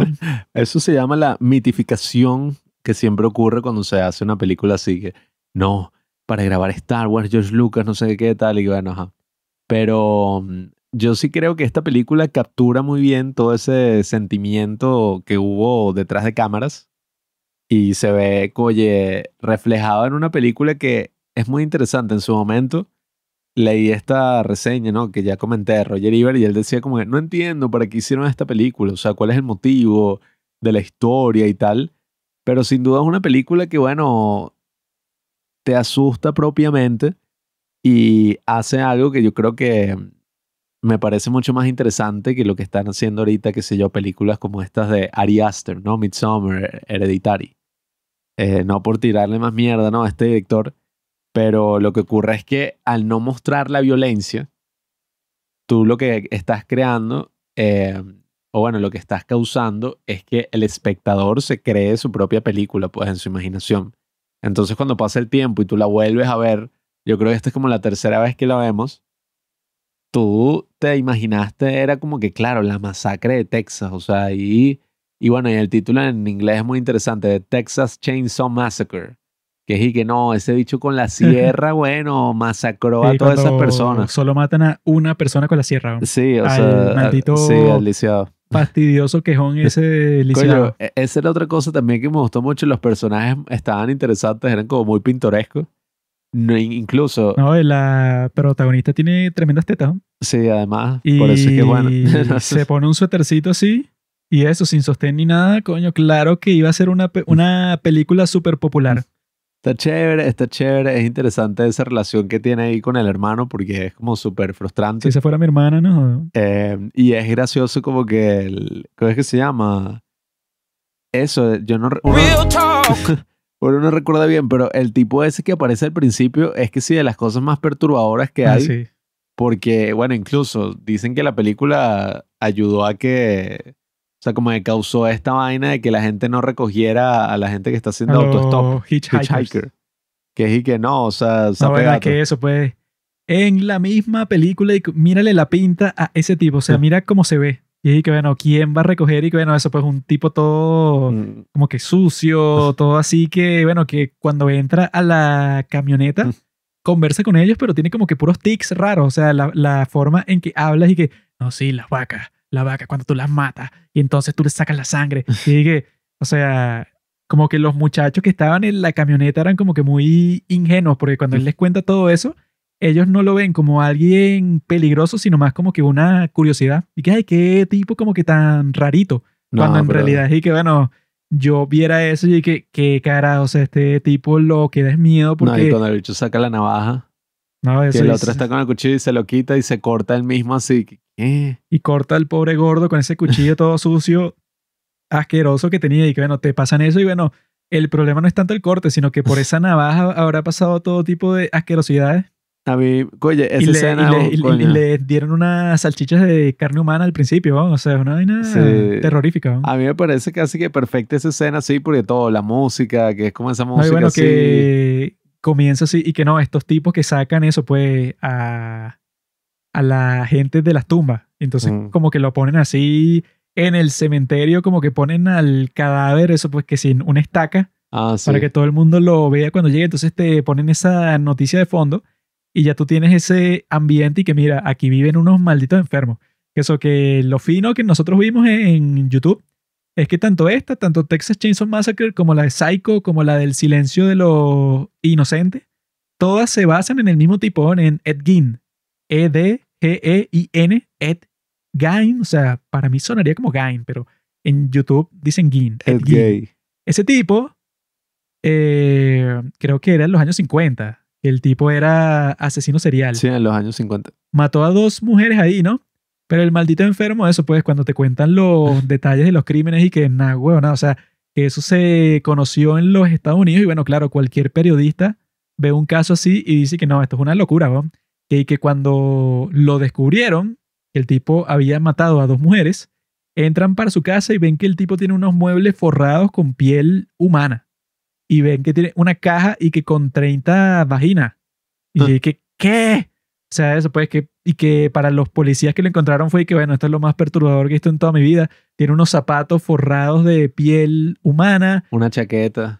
No, o sea, un, cinturón de pezones de mujeres. Porque el tipo como que se iba para los cementerios, desenterraba un montón de cadáveres. O sea, que eso es lo más grotesco de la historia. Porque claro, si tú los desenterraste, eso estaba pudriéndose. O sea, tú lo llevaste para tu granja en un proceso de descomposición y lo tenías ahí en tu casa. Y no solo contento con eso, eso lo desmembraste y tenía como que unas sillas, como te muestran en la película, que la silla, el, o sea, donde tú posas el brazo, es un brazo, pues, o sea, eso pues, le sacaste el brazo al cadáver y lo pusiste en la silla. Entonces, eso pues, este Buffalo Bill, que es como que un tipo que quiere ser mujer, pero le niegan la operación para convertirse en transexual, en esa del silencio de lo inocente. Y el tipo de eso, pues, se hace un traje de piel de mujeres para ponérselo encima y bueno, y el tipo sentir que es mujer. Y entonces dicen que con Ed Gain pasó lo mismo, pero con, su- con, con su madre. O sea, que él quería ser exactamente igual que su madre, que era que si una loca ahí que lo reprimió durante to- toda su vida, que no lo dejaba que si salir con mujeres, o sea, Le que lo jugaba. unos- bueno, un No, sí, demonio. sí, o sea, que no, y que er- eran que si las mujeres eran la fuente de todo el pecado del mundo. Entonces el tipo quedó súper traumado y entonces él y que una vez, el tipo y que eso, se hizo un traje con la piel de las mujeres que sacó del cementerio. O sea, que eso no sé qué hay más enfermo que eso. Y se lo ponía y bailaba fuera de su casa. Sí, o sea, bailaba de noche, que si a la luz de la luna, eso con un traje de hecho de la piel de un maldito cadáver de unas mujeres y el maldito tenía una caja llena de vaginas debajo de su cama. O sea, eso cuando esa historia salió, inspiró al tipo que escribió la novela de Psycho, que fue la que adaptó Hitchcock al cine. Luego de eso vino Texas Chainsaw Massacre y luego de eso vino El silencio de los inocentes, que bueno, que, y que fue la película, la primera de todas, que ganó las categorías principales de los Oscars todas en un mismo año. Pues que sí, mejor director, mejor actor, mejor todo. O sea, arrasó. Sí. Entonces, es ese tipo, Ed Gein, que solo mató a tres personas, pero y que él sigue siendo como que sospechoso en otros casos, que eso, que no se podía probar que el tipo mató a ciertas personas que vivían donde él vivía, o sea, cerca, pero que lo tienen como sospechoso porque el tipo, bueno, que más enfermo hay que el tipo eso, y que eso, cuando te cuenta la historia es que el tipo vivía en un pueblo, eso pues, pero el pueblo más eh, desolado, como el que te muestran en Texas Chainsaw Massacre, que es un pueblito ahí que tiene que ser una bomba en gasolina y cuatro casas, pues, o sea, un pueblo en donde no hay nadie. Este tipo y que vivía en un sitio así y que eso, pues, o sea, que yo he visto que dicen mucho, pues, o sea, que los asesinos seriales, que si del siglo XX, o sea, pero ya entrando que si en el, siglo XXI, tienen como que todas estas cosas en su, en su historia. Que, y que no, bueno, estos tipos estaban buscando las huellas dactilares en la escena del crimen para ver si él era el culpable. O sea, todas estas cosas tecnológicas, pero eso, pues, y que no, el tipo lo descubrieron porque dejó un cabello en la escena del crimen. Cosas de ese estilo, eso son muy precisas. Pero que dicen que eso, pues, si tú eras un asesino serial en el siglo XIX o principios del siglo XX, nada de eso existía. Entonces es como que cualquier cosa que tú hicieras, eh, eso, tú mataste a un montón de gente, pero no sé, que ponte que tú mataste a tu esposa, o sea, que hay un tipo que tenía que ser un hotel completo en donde él llevaba a las mujeres, que no me acuerdo el nombre del tipo, pero eso, pues, o sea, que el tipo te- tenía todo un hotel Ah, sí. que él usaba para matar a sus víctimas, ¿no? Entonces no lo descubrieron que si por 30 años, porque el tipo eso en esos tiempos, que era que si 1880 y pico, era que el tipo le, eso, no sé, que si mira, no encontramos a tu esposa, ¿dónde está? Y que no, ese se fue de viaje, se fue que sí a Mississippi. Y Mm. entonces eso te creían porque los tipos no tenían forma de confirmar eso, porque era que, ah, bueno, eso pues no existía ningún tipo de, tec- de tecnología y cualquier viaje, Eric, bueno, ajá, ¿cómo carajo yo voy a saber quién se fue, no sé, que sea a California, que queda muy lejos? Entonces eso puede, o sea, que dicen que ser un asesino serial en esos tiempos, o bueno, incluso eso, más en el pasado, Eric, que bueno, nadie te podía descubrir, Mm. porque Eric, bueno, ¿cómo van a conectar los casos? ¿Cómo van a buscar tu ADN? ¿Cómo van a, crear un patrón si tú hiciste eso? No sé, que si mataste a, a pura gente aleatoria, o sea, Bueno, eso es mucho más terrorífico. Toda la historia de Jack el Destripador, que nunca lo pudieron identificar en su momento y se identificó en la actualidad. O sea, imagínate ahorita, utilizando la tecnología así de ADN, bueno, se identificó un supuesto culpable, un dentista. Pero, Y eso, coño, pues, el tipo vivió y murió, nadie supo que lo hizo y el tipo mató a un montón de prostitutas y que hacía cosas parecidas como este Ed Gein, eso pues que si le ha- hacía una autopsia porque era un obsesionado así, eso pues no sé, que si con el cuerpo humano, pero de la forma más perversa posible. Y existe como una especie de atractivo y obsesión con todo este tipo de individuos, de individuos nefastos. Bueno, esto ahorita está la serie famosa de Jeffrey Dahmer, pero en general Ted Bundy y todos estos asesinos en serie siempre han tenido como una especie de curiosidad mórbida detrás y mucha gente que le interesa. Y en este caso, con esta de Texas Chainsaw Massacre, viéndola como por tercera vez, me pareció muy interesante. Coño, todos los pequeños detalles que tiene la película que uno no se imaginaría que una película así, pues hecha en este estilo, los tendría. Como eso de que eh, cosas a veces mm, que parecen irrelevantes, pero que son guiños de lo que va a pasar después. Como por ejemplo el horóscopo que les dicen y que, mira, ustedes van a tener un día, bueno, terrible. Están en Mercurio retrógrado. Y mira, y que la vas a pasar mal. Ajá. Que bueno, la forma en que la pasas mal y bueno, mataron a todos tus amigos. En el otro, cuando él llega a la casa de su padre, la casa abandonada de su padre, y hay como que una especie de amuleto todo extraño hecho Ah, sí. con unos huesos así, que ya te muestra como, mira, aquí va a pasar, bueno. Y ahí como que una maldición. Y es muy interesante también la forma en que está estructurada la película, porque dura eso, dura como una hora y veinticuatro. Y durando eso, no es que la película es así simplemente straightforward y entonces y que, ah, claro, eh, a los tipos los matan y listo, el show huye, sino que hay un momento que me pareció interesante, que es cuando ella parece que huye y llega donde ellos habían ido a, la, a comprar es. una parrilla. A la gasolinera que supuestamente no tenía gasolina, pero seguramente sí tenía. Pero los tipos le dijeron que no para que estuvieran así aislados.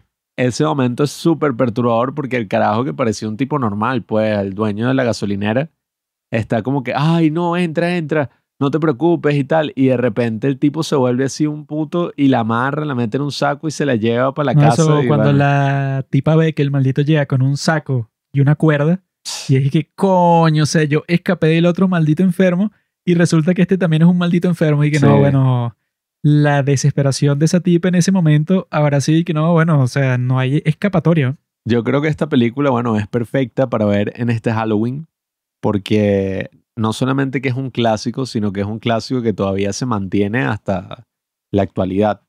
Porque, o sea, si bien tiene ese estilo y todo, habiendo pasado tantos años que dentro de dos, eh, sí, dentro de dos años se cumple el 50 aniversario de que salió esta película. Ahorita, en estos días se cumplió el aniversario 48. Es muy interesante como la película se mantiene y tiene ese encanto extra del tiempo que ha pasado. Y, y ahora se ve como, oye, una película así verdaderamente auténtica, con ese estilo así de los 70 y el grano así cinematográfico. Todo esto del ¿no? Y que se ve mucho más orgánica porque le han sacado mil secuelas, remakes y ni los remakes ni las secuelas se comparan a el efecto que esta tiene porque eso Sí. te muestra la historia eso pues pero sin ninguna pretensión y sin así y que no bueno esto pues esto es parte de, de una historia pero más grande o te vamos a desarrollar más a los personajes o sea no o sea te lo dejan mi- misterioso o sea que tú ves y que bueno quién es el abuelo el maldito cadáver ese quién es el tipo eso que domina a, Le- a Leatherface y al otro enfermo, o sea, que los trata como unos pedazos de mierda y los tipos eso pues, o sea, le deben, te- le deben tener miedo a este viejo, al de la gasolinera, porque los tipos se comportan con unos niños frente a él. Y ahí, que, bueno, ¿quién es este tipo? ¿Quién es el viejo? Eso que dicen y que no, el viejo es tremendo asesino. Ponlo a, ma- a matar a esta tipa porque él es un experto. Y ahí que, bueno, a esta familia, ¿qué coño? Eso pues que, que después y que como que lo desarrollan más, pero siempre cuando se ponen con eso, crean es un desastre. Porque bueno, tú al principio no tenías pensado eso en lo absoluto, pero fue que no, sí, Leatherface tiene ese problema porque él cuando tenía 15 años, su padre, bueno, La historia de Leatherface. se inventan unas cosas todas locas cuando en realidad el encanto que tiene este va a ser inigualable con cualquier cosa que saquen después, porque bueno, ese fue el clásico. Y así tú le quieres sacar todo el jugo al clásico, bueno, pero no, no lo puedes comparar con este. Eso, pues yo creo que el remake que salió el año pasado es buena, Nah. pero eso Me o pareció sea, una mierda. es buena. Es buena como película de terror, pero si la comparas con esta, es que bueno, como que no es lo mismo, pues, porque te ponen a Leatherface como si fuera, no sé, como el de Halloween. Que eso puede, o sea, que si es un tipo más místico, que es un tipo que así le dispares o le hagas lo que sea, no se muere. Pero Leatherface, como te lo muestran aquí, bueno, es un huevón. O sea, es un tipo que ajá, es un monstruo, pero que si tú le dispararas, la cosa que no puedes hacer, porque eso, pues, estás casi en un pueblo y tú nunca te diste cuenta de la cuestión. El tipo, eso pues, ajá, lo podrías matar técnicamente, pero ese no es el tipo de película que, que, que estás viendo.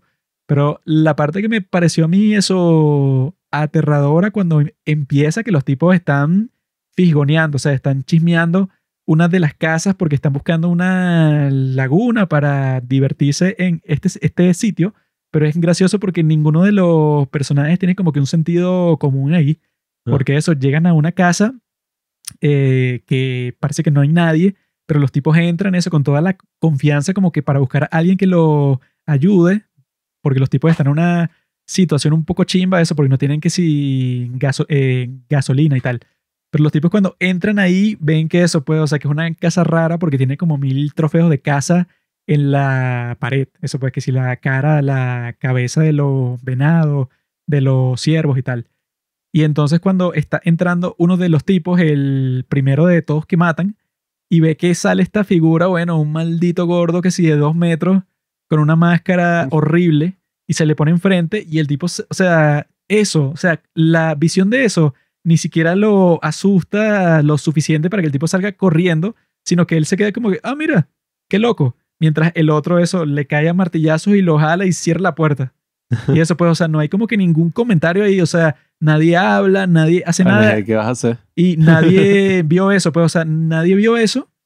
Solo este tipo, o sea, que tuvo la peor suerte del mundo porque el tipo entró y bueno, no puedes pelear contra ese monstruo, pues, o sea, ese te, te jala y es tan fuerte y tan gordo y tan enfermo que bueno, te jodiste. Y después entra la novia a buscarlo a él y eso... Te encuentra, no jodas. no, eso, la tipa, ajá, como que se cae en esa parte de la casa que está llena de puros huesos de animales y cosas así Y plumas de gallina. que ellos sí tienen ese diseño de producción que a mí me pareció perfecto, porque es que bueno, que ellos entran ahí y no es solamente que está lleno de unos malditos enfermos que te pueden matar y torturar y todo, sino que el ambiente es grotesco, pues, o sea, que tú cuando ves todo eso, los huesos y las plumas y tal, yo lo que pensé, y bueno, tú entrando ahí, eso debe oler a mierda, o sea, tú entrando en esa vaina, eh, bueno, que eso, pues, que en, en nuestra casa hay como que una ventana en donde entras unas palomas de vez en cuando y como que ponen un huevo ahí raro, pero es como que un huevo podrido, o sea, no sé qué coño pasa.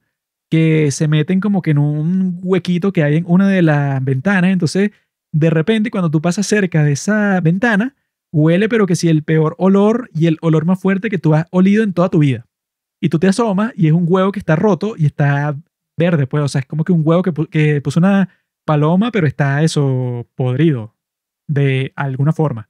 Entonces yo pensando en eso, yo lo que pensé es que, bueno, si eso es con un solo huevo podrido, entras en un cuarto de una casa que está asqueroso, o sea, todo lleno de huesos de animales varios cualquiera, con una gallina en una jaula, bueno, que eso debe oler horrible también y te lanzaste ahí y luego entras para la guarida del maldito este y ves eso, pues, o sea, que tu novio lo tienen en una mesa y lo están que sí torturando y a ti te meten en un gancho así de ganado. O sea, que eso sí es, que bueno, Sí, eso. totalmente grotesco y, Y, y demuestra así- que el director no sé si es huevón o qué, porque es, bueno, tú con esa escena, huevón, que Mm. clavan a una tipa en un gancho de reses mientras matan a su novio y después la meten en un congelador. O sea, tú, tú creíste que por no mostrar un poco de sangre, entonces iban a pensar que tu película iba a ser para todo público después de- esa cuestión. Claro, también hay el problema es que la calificación que le habían puesto era X. Claro. Y él quería que le pusieran una R, porque si te ponían X es como si fuera una película porno. Pues, No, eso sea, fue- no la pueden pasar en ningún cine. Él quería que fuera PG, o sea, para todo público, porque la pueden mostrar eso en 10.000 cines. Cuando Sí, es R, sí. la pueden mostrar como en 100 cines. Y cuando es X, la pueden mos- mostrar como en, como, como en 10. Como en 10 cines porno. Entonces, eso fue como que él trataba de que fuera más comercial, pero bueno, era imposible con esa censura. Incluso el día de hoy, yo creo que si saca algo así, sería que, bueno, obviamente que es R, ¿va? Pero eso, pues, eh, ¿qué piensas tú, experto del terror? No, no, eh, esa película a mí me parece bien, interesante, precursora de, muchas otras películas de terror también de ese mismo género. También, como dijeron, fue una de esas películas en las que trataron de ponerle la etiqueta de se basa en un hecho real, aunque no lo es. Pero hicieron eso para que vendiera más. pues. Entonces, desde, desde ese momento, muchas películas siguieron ese mismo ejemplo y empezaron a decir que basada en hechos real, eh, eh, hechos reales, personas reales. Pero aún así, con eso, fue una muy buena película, buena dirección. Y, incluso con el poco presupuesto que tuvieron también. Me parece que los efectos para su época, bueno. Y también una buena película para ver durante esta época de Halloween. No, y el final también es bastante brutal, porque es que eso, pues, que la muchacha escapa, pero escapa de la forma más accidentada del mundo porque te persiguen estos dos malditos locos. Y eso, pues, o sea, que llega el tipo del camión que se encuentra por la suerte del mundo y entonces el tipo le pasa por encima al enfermo del principio. Pero eso, después llega el otro gordo loco con la máscara como que de una señora porque está maquillada y tiene como que una peluca así de vieja. Y dije, ¿qué? Y está persiguiendo al otro y le empieza a cortar la puerta con la sierra eléctrica y, y después se corta la propia pierna y después llega otro huevón con el carro y la muchacha se monta en la, en la camioneta, pero yo creo que lo loco de ese final y bueno, que el corte del final final de todo es muy cool porque eso, porque el tipo está con su sierra así vuelto loco y es un corte súper abrupto, así como que bueno, se terminó todo. Eh, pero eso, ella ajá, escapa. Y quizá alguien podría pensar que como ella queda viva es un final feliz. Pero no es un final feliz para nada, porque esa tipa, bueno, yo creo que cualquier persona luego de esa experiencia, Le mataron al hermano, a todos los amigos, de sí, la forma más terrible posible. psicológicamente, tú, o sea, yo creo que nunca te podrás recuperar de eso si pases 10 10.000 años en terapia con el mejor terapista del mundo y con las mejores drogas del mundo. O sea, yo creo que tú después de eso te jodiste. Pues, o sea, tú como persona, si no te suicidas, vas a ser que si la persona más miserable de todo el mundo, porque bueno, solo esa escena que dura, no sé, como 15 minutos dentro de la casa, que eso, que alimentaste a un maldito viejo con tu sangre y, de- y los tipos parecía que te iban a matar con un martillo y te dieron un martillazo en la cabeza, o sea... Después de eso, yo creo que no hay forma de que te recuperes psicológicamente, pero, o sea, imposible, pues. Sí, yo, yo creo que, oye, uno también como que queda un poco traumado al mismo tiempo que ella. Y yo creo que es eso, es una de esas experiencias que al pasar de los años todavía te van a impactar. Y a mí me sorprendió que viéndola esta tercera vez, todavía me asustaba en las partes en que parecía que si Leatherface así, cuando la agarraban, No, es el que yo no impacto, y me que, ¡ah! Acordaba de casi nada, pues. O sea, Sí, yo sí. medio sabía que era lo que iba a pasar, pero de los detalles eh, me habían olvi- olvidado completamente. Y cuando los vi, fue que, mira, salió Leatherface por primera vez y que, wow, qué épico. Yo grité ahí como cuatro veces, creo yo, durante Sí. la película. Y, ¡ah! No, y eso, mierda. cuando el maldito loco ese la persigue de noche a la protagonista, que es y que, bueno, imagínate que ese loco te está persiguiendo a ti y eso, eso con la máscara y eso que el tipo que buscaron para ese papel mide como dos metros tres, pues, o sea, es un gigante y es un tipo gordísimo. Y ahí, bueno, o sea, no sé qué Y más los dientes todos jodidos. ¿no? terrorífico así que te está persiguiendo de noche con una sierra eléctrica después de matar a tu hermano y que, ¡ah! No, y Ah. mata al hermano, sí, pero completico de la nada. Sea, parece hecho lo corto con la sierra, mierda. Lo corta, pero eso como en tres cortes ya está listo. Y que maldita sea. A mí es eso, me parece una muy buena película. Esa creo que era una de las películas favoritas de Stanley Kubrick. Eh, que a él le gustaba eso y le gustaba mucho Los Simpsons. Y entonces él como que conseguía que le pasaran esas copias a Inglaterra, así que sí en VHS. Porque, ajá, bueno, esa película fue prohibida en Inglaterra porque sí por 25 años. Por eso, pues, el, el chique le mandaron ese y le mandaron el, los VHS de los Simpsons y no me acuerdo cuál era la otra serie. Una ahí que es con Rosie O'Donnell. Que el chique le gustaba a Rosie O'Donnell. Qué carajo. Eh, El anti-Trump. Sí, pero coño, no sé, me parece una gran película, una muy buena película. La, el remake, coño, una mierda en comparación, o sea, para En nada comparación es una mierda. Pero como película sola sí, no me pareció tan mala porque tiene eso, pues que si la escena loca en donde Leatherface entra para el autobús y todos los retrasados del autobús es y que, oye amigo, fuera de aquí, ¿qué estás haciendo? Y eso lo sacan que si los teléfonos para grabarlo y le hace que si un Instagram Live. Y el tipo pasa, bueno, a masacrarlos a todos, pero que sí, es- esa sí fue la Texas Chainsaw Massacre, porque el tipo con la sierra, bueno, le pasa por encima como a 20 personas y eso, que si le corta los brazos, las orejas, la cabeza, o sea, No, una locura. A mí esa vaina sí no me cuadra mucho. Pero bueno, creo que ya podemos pasar a hablar de la segunda película, ¿no? De Rec, que nosotros no la habíamos visto. Sí.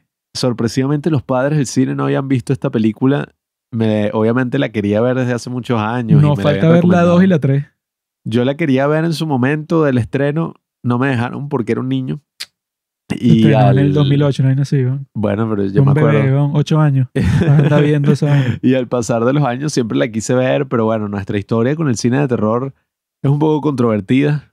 Pero bueno, cuéntanos, Alejandro, tú que seleccionaste esta película.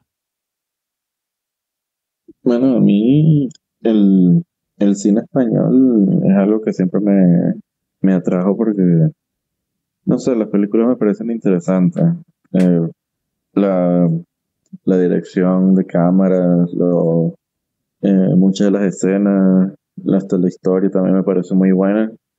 Eh, en esta película lo que me gustó fue, ¿cómo diría yo? Eh, la técnica que utilizaron en el sentido de que es una película found footage, pero en sí es como si estuvieras viendo de verdad un noticiero, pues.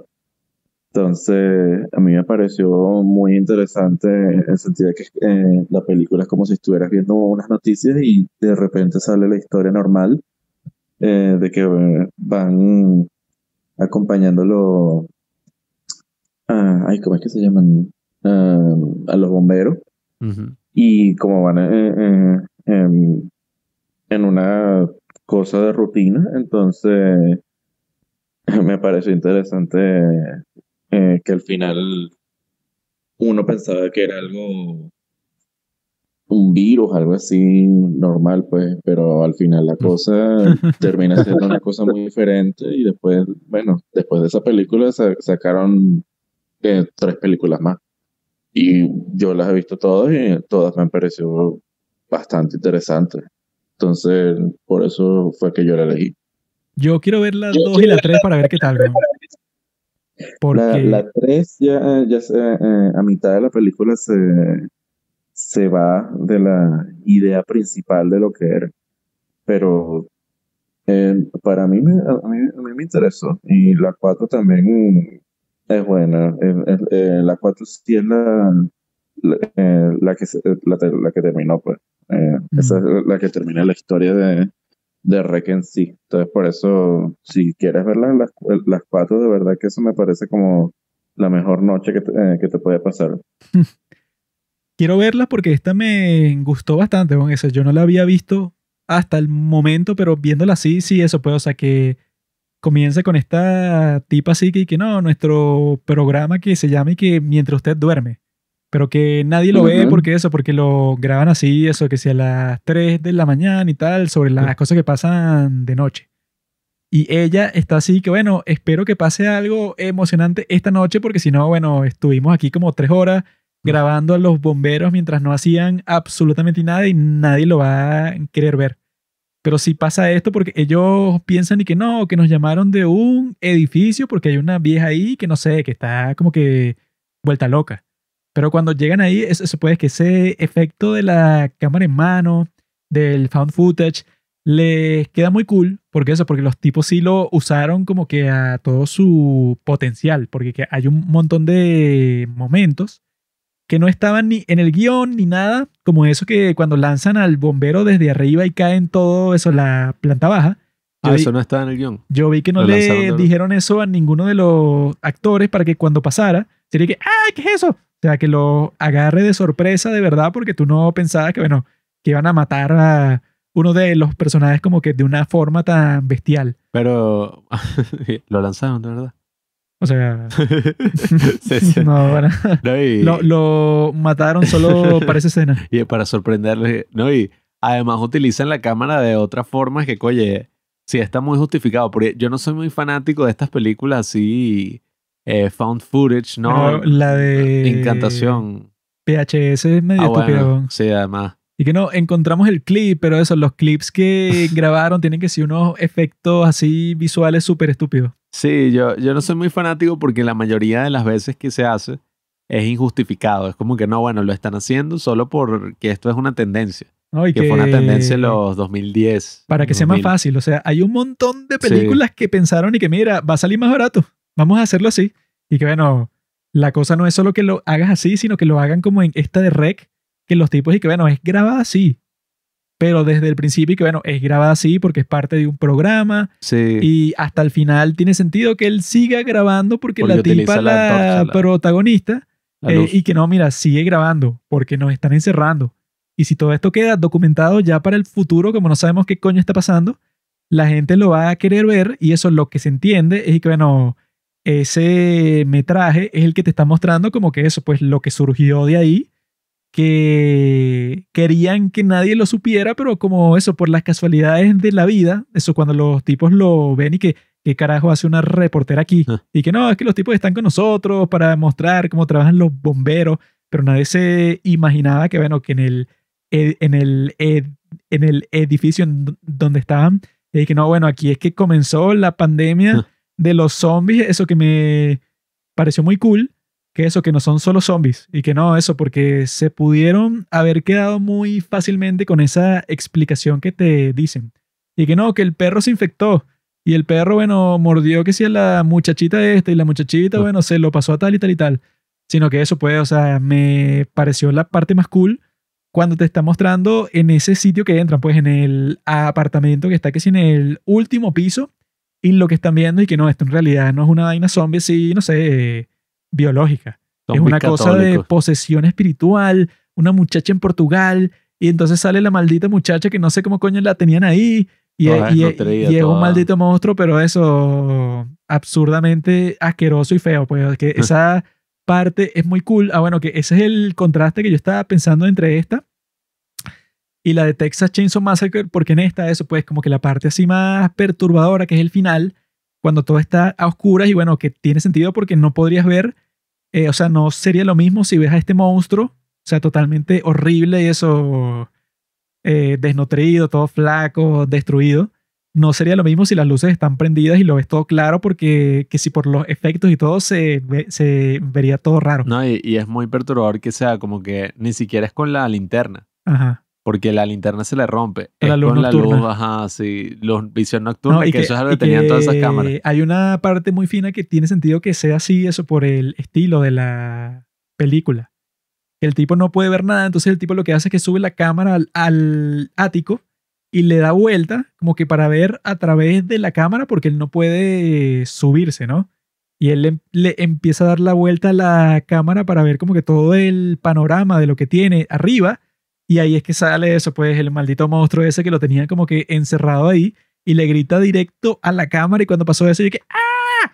Porque yo no me esperaba, o sea, eso pues yo pensaba que iba a pasar algo así, pero yo ahí sí tenía como que toda la atención puesta, eso pues 100% en lo que estaba viendo porque estaba muy cool que ven que en las paredes tienen cruces y tiene artículos de periódico y que tienen como pasa que si los videojuegos tipo Bioshock que Gracias. es que bueno, eso pues, o sea, que tú encuentras el clip que si de un científico así que estábamos tratando de hacer este experimento con esta gente, pero fracasó. Entonces, bueno, lo que nos pasó es que este tipo se convirtió en un zombie, nos atacó y tal, eso pues que te dan como que la información extra del videojuego. Bueno, aquí usan ese elemento y que eso pues, o sea, el contraste que yo vi es que en esta, bueno, es todo oscuro, eso tiene sentido que sea de esa forma, pues es como que ese estilo de que a ti te da miedo como que el misterio, lo desconocido.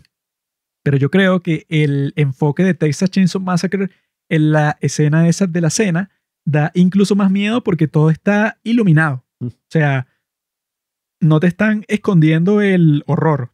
En esta sí, porque ese es su estilo, pues, o sea, ti- tiene sentido así que, que no, que nos cortaron la luz y solo tienes la luz de la cámara. O sea, como que cinematográficamente esa es la forma en que decidieron mostrarte esto.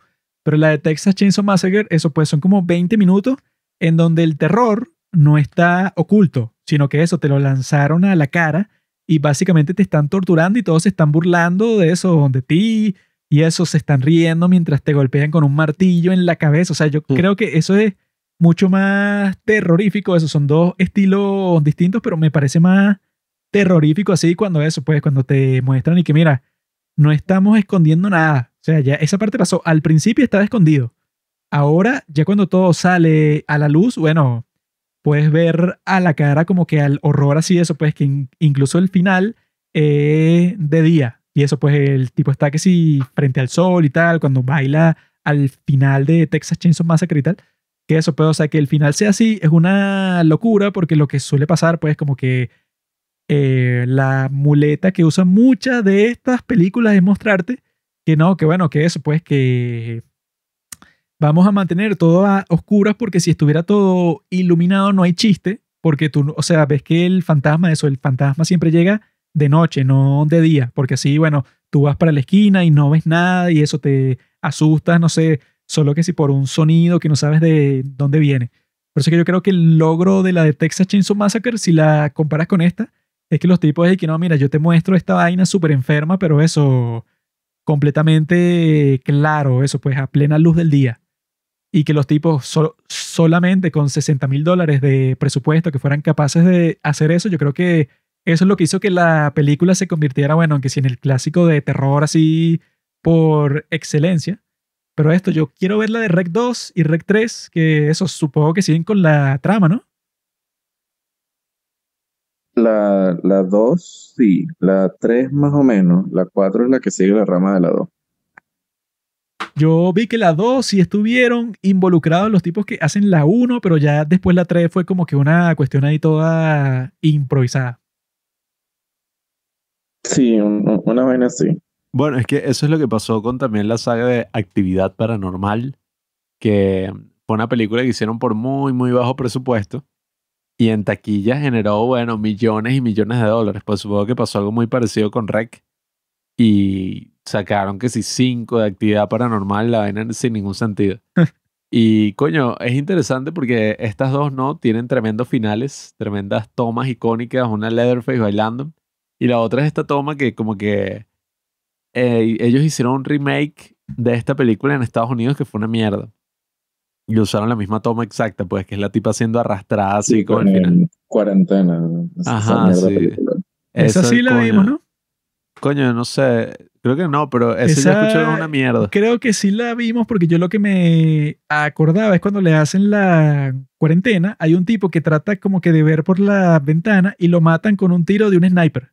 Que, que bueno, que exagerado. O sea, que el tipo eso trata de quitar como que la, la cortina de plástico que le ponen para que esté separado del exterior y de una le meten un tiro desde afuera, o sea que eso le quita como que el suspenso, porque ya te están diciendo que, bueno, si pones un pie afuera, eso pues no es que te están encerrando de una forma drástica, sino que eso, que literalmente te van a disparar al, al segundo que lo hagan, que es un poco exagerado, pues. Sí, e, esa remake dicen que es una mega mierda.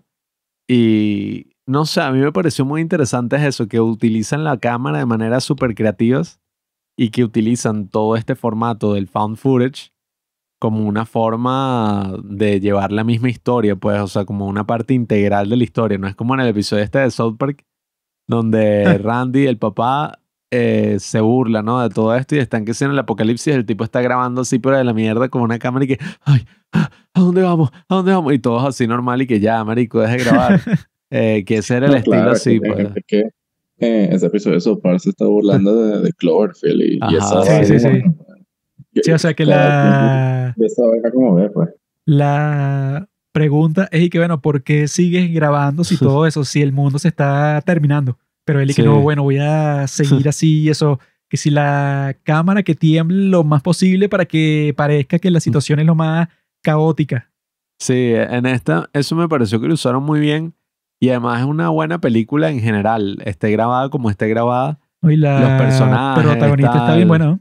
Sí, o sea, y, todo eso de, de cómo se van transformando y todo ese pedo es bien interesante que si el bombero, cuando huyen, como el hecho de que terminan en ese ático de mierda, que, ajá, o sea, terminaron ahí y tú dices como que coño, no sé qué hacer porque el resto del edificio está en la mierda, o sea, todos los zombies No, poseídos bueno, sí, es ahí. que ya cuando te dicen y que no, fulanito tiene la llave de una parte y bueno, tú piensas y que bueno, quien tenga la llave ya no importa porque eso te ya toda la escalera está llena de zombies, los chinos se convirtieron en zombies, eso. Cualquier paso en falso que des, como eso, como pasaría en cualquier videojuego de zombies, bueno, te, te jodiste porque los tipos son bastante rápidos. Y con una mo- mordida ya estás listo. No, y ni siquiera se mueren porque, ajá, la, la vieja no joda, le cayeron a balazos y la tipa, bueno, Le dieron tres tiros y la tipa después, bueno, le saltó encima como si nada. Y entonces, bueno, entonces cualquiera de esos, si lo quieres matar, definitivamente ni sé qué vas a hacer, pues, porque ya es Sí. una cosa salvaje. Pero, oye, No, una, una cámara para darle coñazo en la, en la cabeza hasta que se la abra.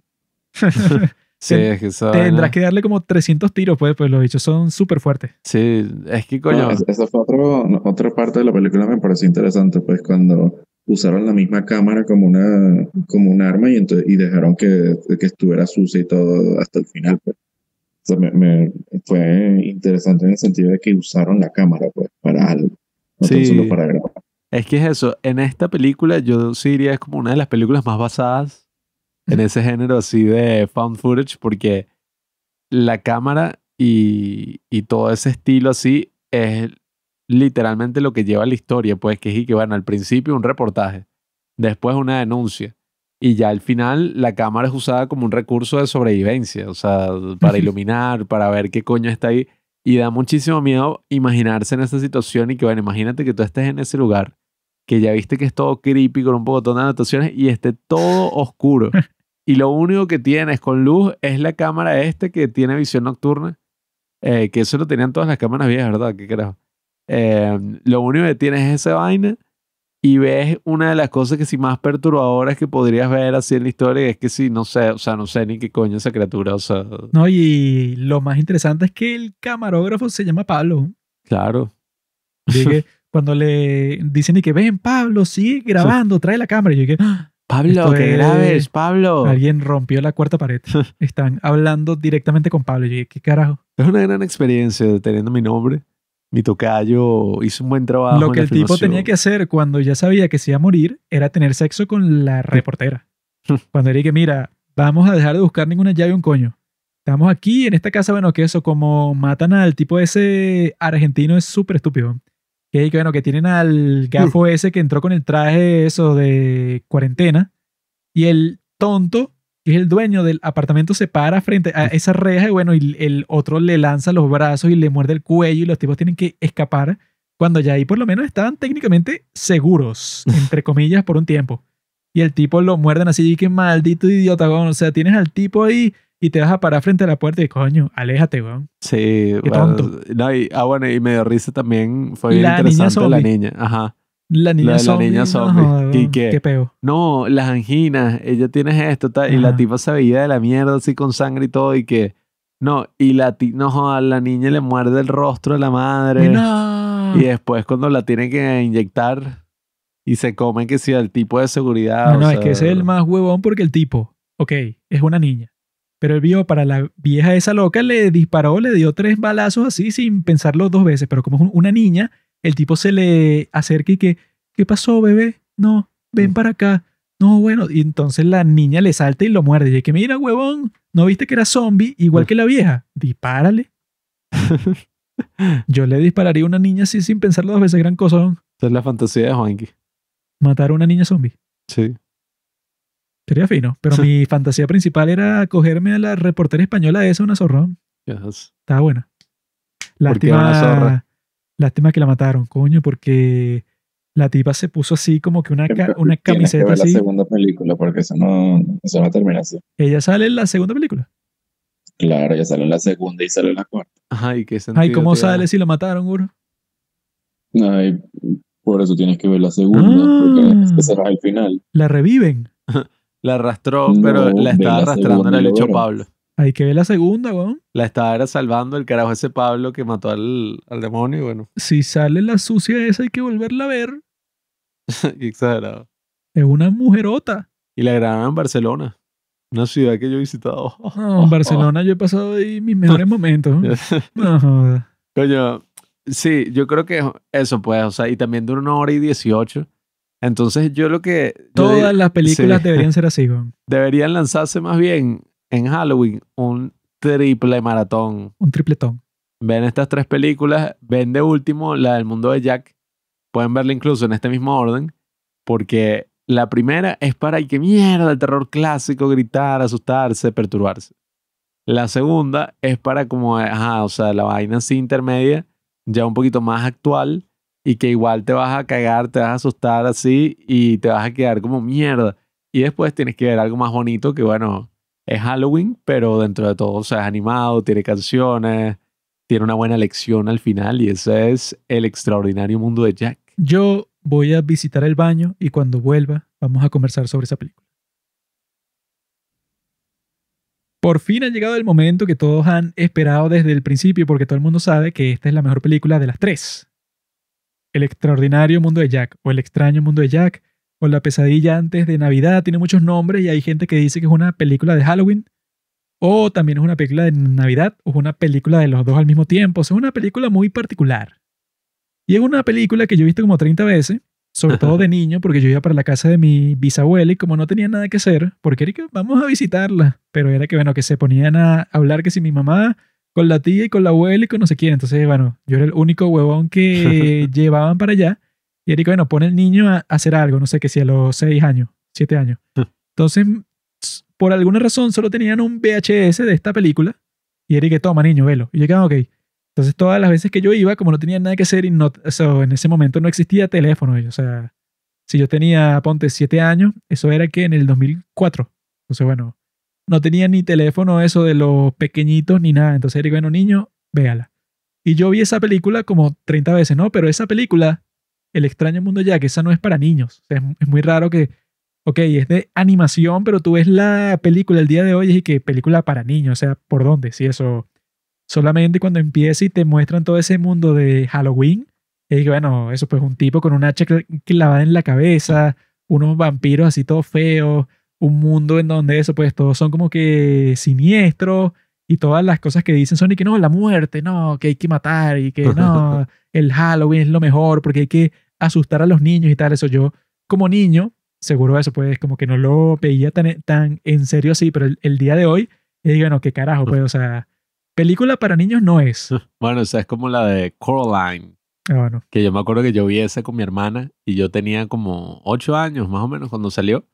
Y eso de que, ay, sí, eh, no tienen ojos, sino que se les son unos unos botones. botones todo feos. Esa broma y lo de la bruja del final, yo estaba que, "Ah", Sí, y sea, no puedo dormir. Quizá para un adolescente, 14 años, ponte. Pero si tú la ves que si con 8 años cualquiera de esas películas así tan siniestras de Tim Burton, tú quedas perturbado. ah, bueno, sí, pero- esa es de Tim Burton, el- y que el cadáver de la novia, tal. Frankenweenie. Que bueno, ahí vimos una cosa en Disney Yo no he Plus. visto el cadáver de la novia.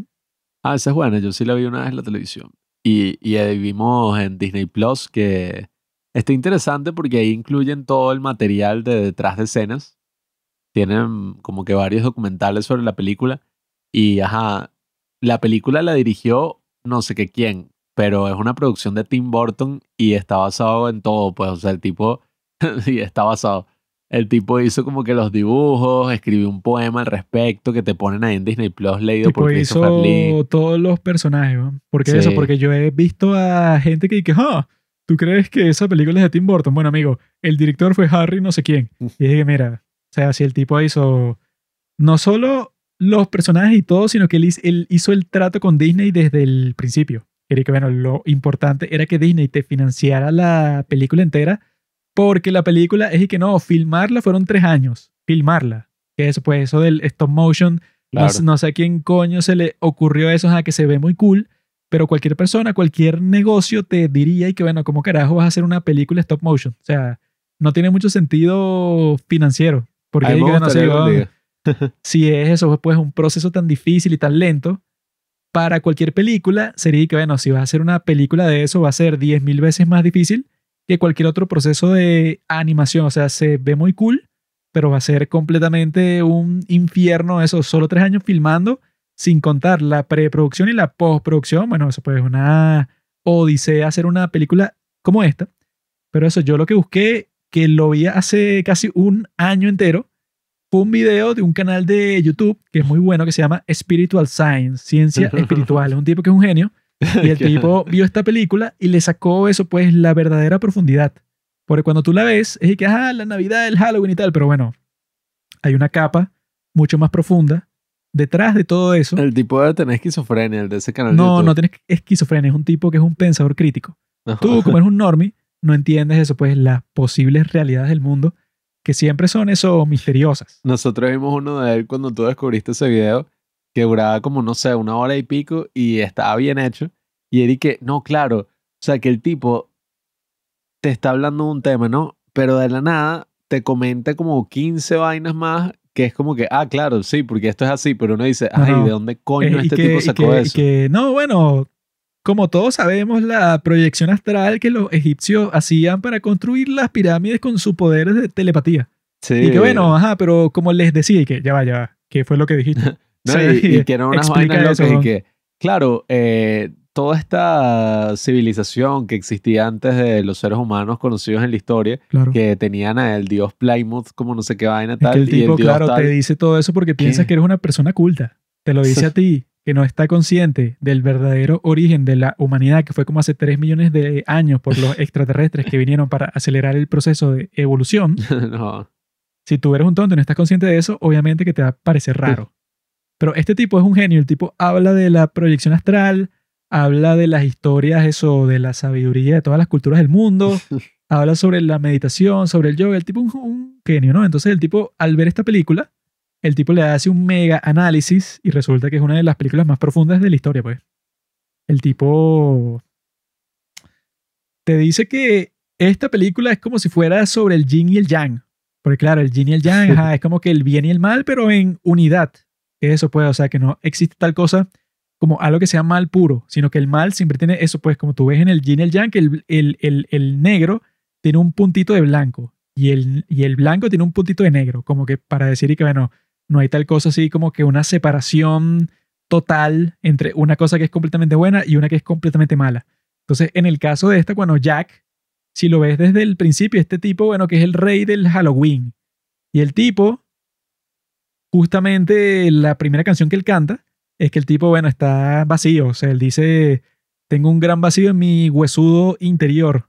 Entonces que él está como que, ah, yo seré el rey, soy el tipo más cool de aquí, pero bueno, me siento mal, pues, y está Sally, que es la chica sexy, eh, La franga está que insecta. está, bueno, está como que toda destruida porque eso pues es un, como que un muñeco que le saca los brazos y las piernas y ella se Y la vuelve a coser. como, es como el, ¿cómo se dice? No sé si el ídolo, pero como muchísimas Es como que chamas se el identifican. modelo de todas las muchachas alternativas así que quieren ser Sí. distintas. Todas las chicas así un poquito dañadas y se tal, compran siempre, ajá. una franela con la monstrua esta.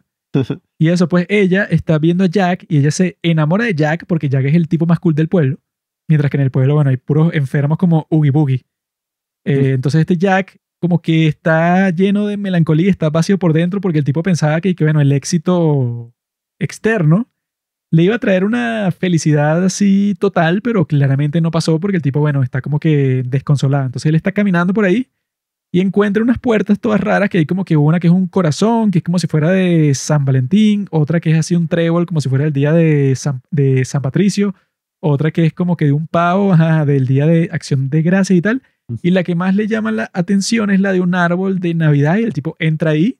Cuando entra ahí está entrando al mundo de la Navidad, en donde todo es perfecto. Eso pues es como el Santa Cláusula. es como el yin y el yang, porque en el mundo del polo norte de la Navidad, eso, cuando él entra, como vieron en la canción que canté al principio, él ve y que, bueno, qué raro, porque todo es perfecto, o sea, todo es felicidad, todos están chéveres, todos están celebrando. No es como en mi mundo, que bueno, que todos son unos enfermos locos, que eso, cuando él les trata de explicar qué significa la Navidad, todos y que un regalo, pero que dentro le ponemos un cadáver. Y que no, bueno, ¿cómo lo va- vamos a matar? Dentro del regalo hay una bomba. Y él está ahí que, bueno, estos tipos no, no me entienden. Porque el tipo lo vio, o sea, él experimentó, así sea desde afuera, todo ese proceso como el Grinch. O sea, el Grinch cuando vio eso, como que todo el proceso, él quería convertirse en el Santa Claus y bueno, el tipo causó un desastre. Que eso pues, y que este Tim Burton cuando estaba concep- conceptualizando el film, el, el film, el, y que no, bueno, eso será como el Grinch, pero al, al reverso, porque el Grinch odia todo lo que tiene que ver con la Navidad, mientras Jack quiere convertirse en el próximo Santa Claus porque él ama todo lo que está viendo, pero él, él en realidad no lo comprende, porque lo vio como por cinco minutos. Pero lo fino que te muestra este tipo en su video es que, bueno, que te muestran eso como que, primero como que eso del yin y el yang, porque tú ves que en el mundo es en la comunidad del Halloween, ok, son puros enfermos, asesinos, vampiros, hombres lobo y tal, pero ellos se forman todos como una comunidad, tienen eso pues, o sea, como una asamblea del pueblo, tienen un alcalde que el tipo tiene doble cara, como todos los políticos.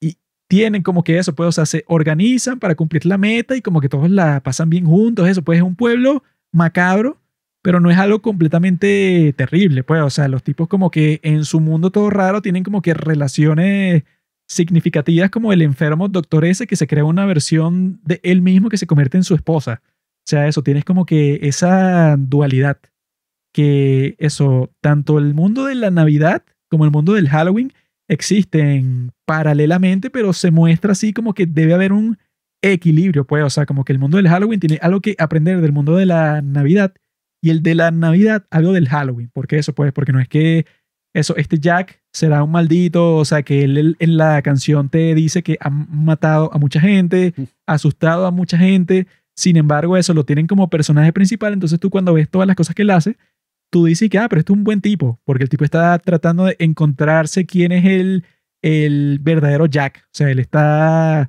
insatisfecho consigo mismo y él quiere encontrar una mejor versión de sí mismo.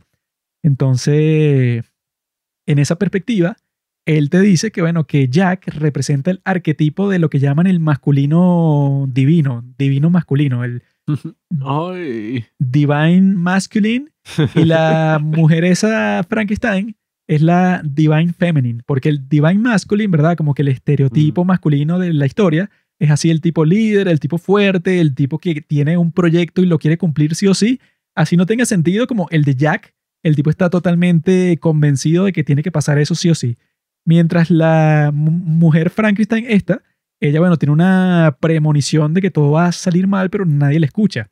Y que ella, eso, pues, tiene como que los rasgos del divino femenino, que son eso, pues, la intuición, la dulzura, el carácter nutritivo, ¿no? O sea, que ella trata de convencer a Jack y que, mira, voy a ser como que la mediadora aquí porque tú estás loco, pues, o sea, porque tú quieres hacer algo que no tiene sentido, entonces yo voy a tratar de contarte mi premonición, que eso, pues, que ella está así con una ramita y la ramita como que le crece un árbol de Navidad, pero el árbol se quema en su mano, entonces ella piensa que, ah, mira, el proyecto del loco este va a salir mal. Eso, pero lo principal del video, pienso yo, es que se mete en el carácter filosófico de toda la película. Que el carácter filosófico es que este Jack, cuando va para el mundo de la Navidad, el tipo ve toda la experiencia desde afuera. Y él viendo eso así, él piensa que él comprendió todo. O sea, él ve y que esto se llama regalo, esto tal tal, esto es el muérdago, esto es el árbol. Entonces él piensa que él ya determinó todo lo que tiene que ver con la Navidad, pero él solo está actuando a partir de las cosas que él conoce. O sea, el tipo es el maestro del Halloween. Entonces cuando él le toca entregar regalos, entrega unos monstruos, entrega cosas que nadie quiere, por eso es que le disparan con unos supercañones para que deje de hacer lo que está haciendo. Pero él, cuando vuelve al mundo del Halloween, el tipo se encierra en su mansión y el tipo tiene todas unas fórmulas en un pizarrón y que no, esto más esto, más la raíz cuadrada del muérdago, más Santa Atroz, igual Navidad. Que de hecho trata de, de recortar un copo de nieve Ajá. y le sale que si una araña y así. Sí, o sea, todo. él quiere ver cómo funciona, pues él quiere descomponer todo. Y él usa, ¿verdad? Como que un método que se, que se llama el método mecanicista, pues lo, es lo que usan los científicos para comprender el mundo, ¿no?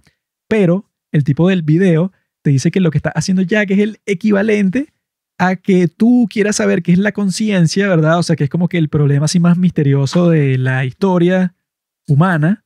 Y entonces tú quieras ver y que no, vamos a analizar el cerebro. en el cerebro vamos a, a ver ciertos químicos, ciertas reacciones entre las neuronas para determinar qué es lo que está pasando.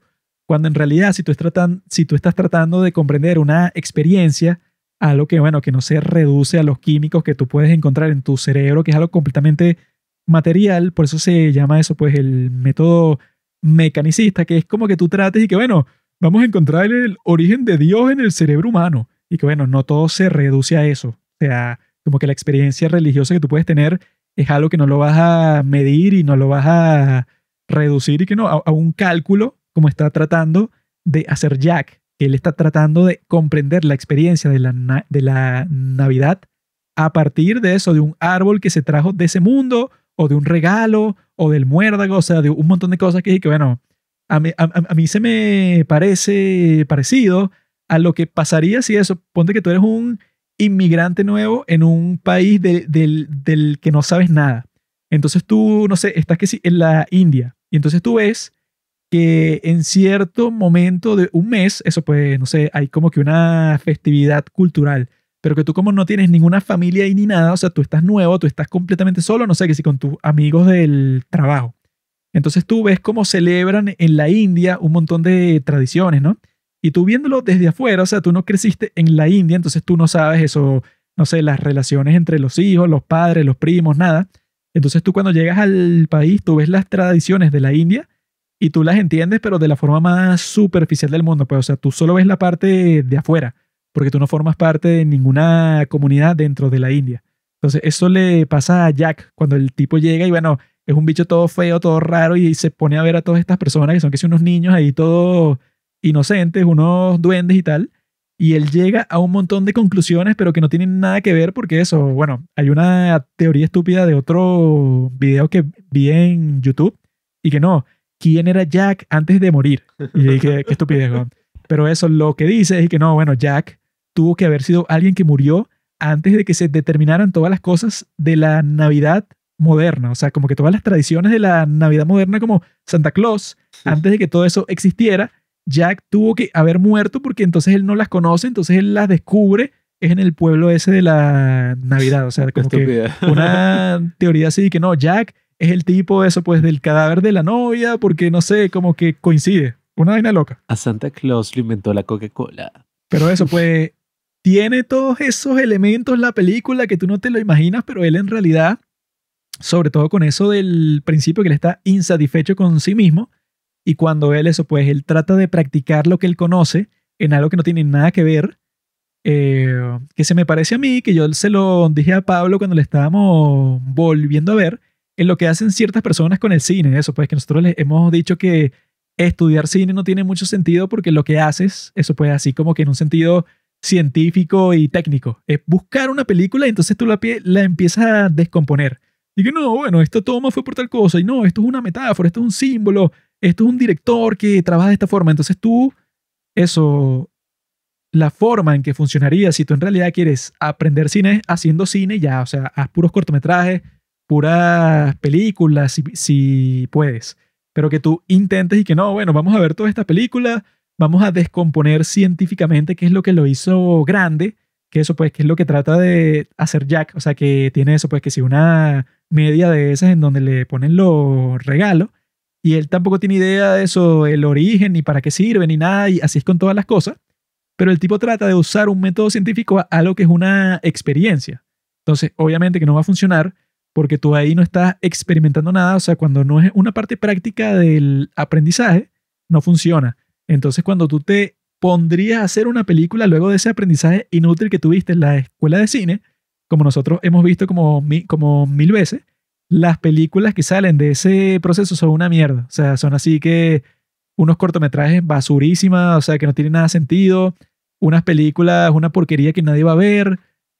Tienen esos productos como le pasa a Jack, o sea, que Jack al final eso puede, o sea, que él comprende y que, ah, mira, yo estaba tratando eso, pues, de implementar las cosas que ya yo sabía a esta festividad que no tienen nada que ver con lo que yo pensaba que tenía que ver y que al final Santa Claus como que le da un regalo, eso, pues, que le deja que nieve en Halloween, en el pueblo del Halloween, para que sientan como que eso, experimente un poco cuál es el origen de esta festividad. Entonces es como que la conexión de eso que estaba pasando, el yin y el yang, porque Santa Claus, bueno, como que representa y bueno, el, el tipo que en realidad todo el mundo quiere, porque él te, te entrega un regalo que tú disfrutas. Cuando los enfermos estos del Halloween, Mm. como es eso, es la festividad de los demonios, de los vampiros, de los monstruos, ellos y que bueno, eso, pues a un muchachito le regalan un pato así de madera, pero le ponen puros Pato huecos, como si le hubieran disparado y de los huecos sale sangre, pues entonces los tipos son unos sádicos.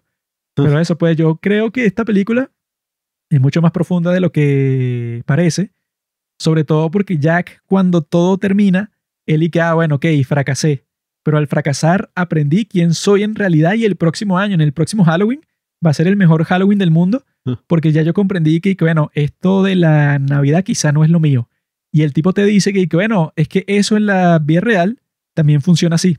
Porque eso, hay cosas como que oscuras del carácter humano que de todas formas alguien tiene que hacerlo. O sea, eso pues, no sé, que si la gente que son soldados, policías, guardias de seguridad, o sea, como que toda esa gente que tiene un rol negativo, porque eso pues, no sé, que si el policía actúa eso pues como que para detener los crímenes, o sea, no es como que alguien que crea algo, sino que está ahí eso pues para mantener el orden.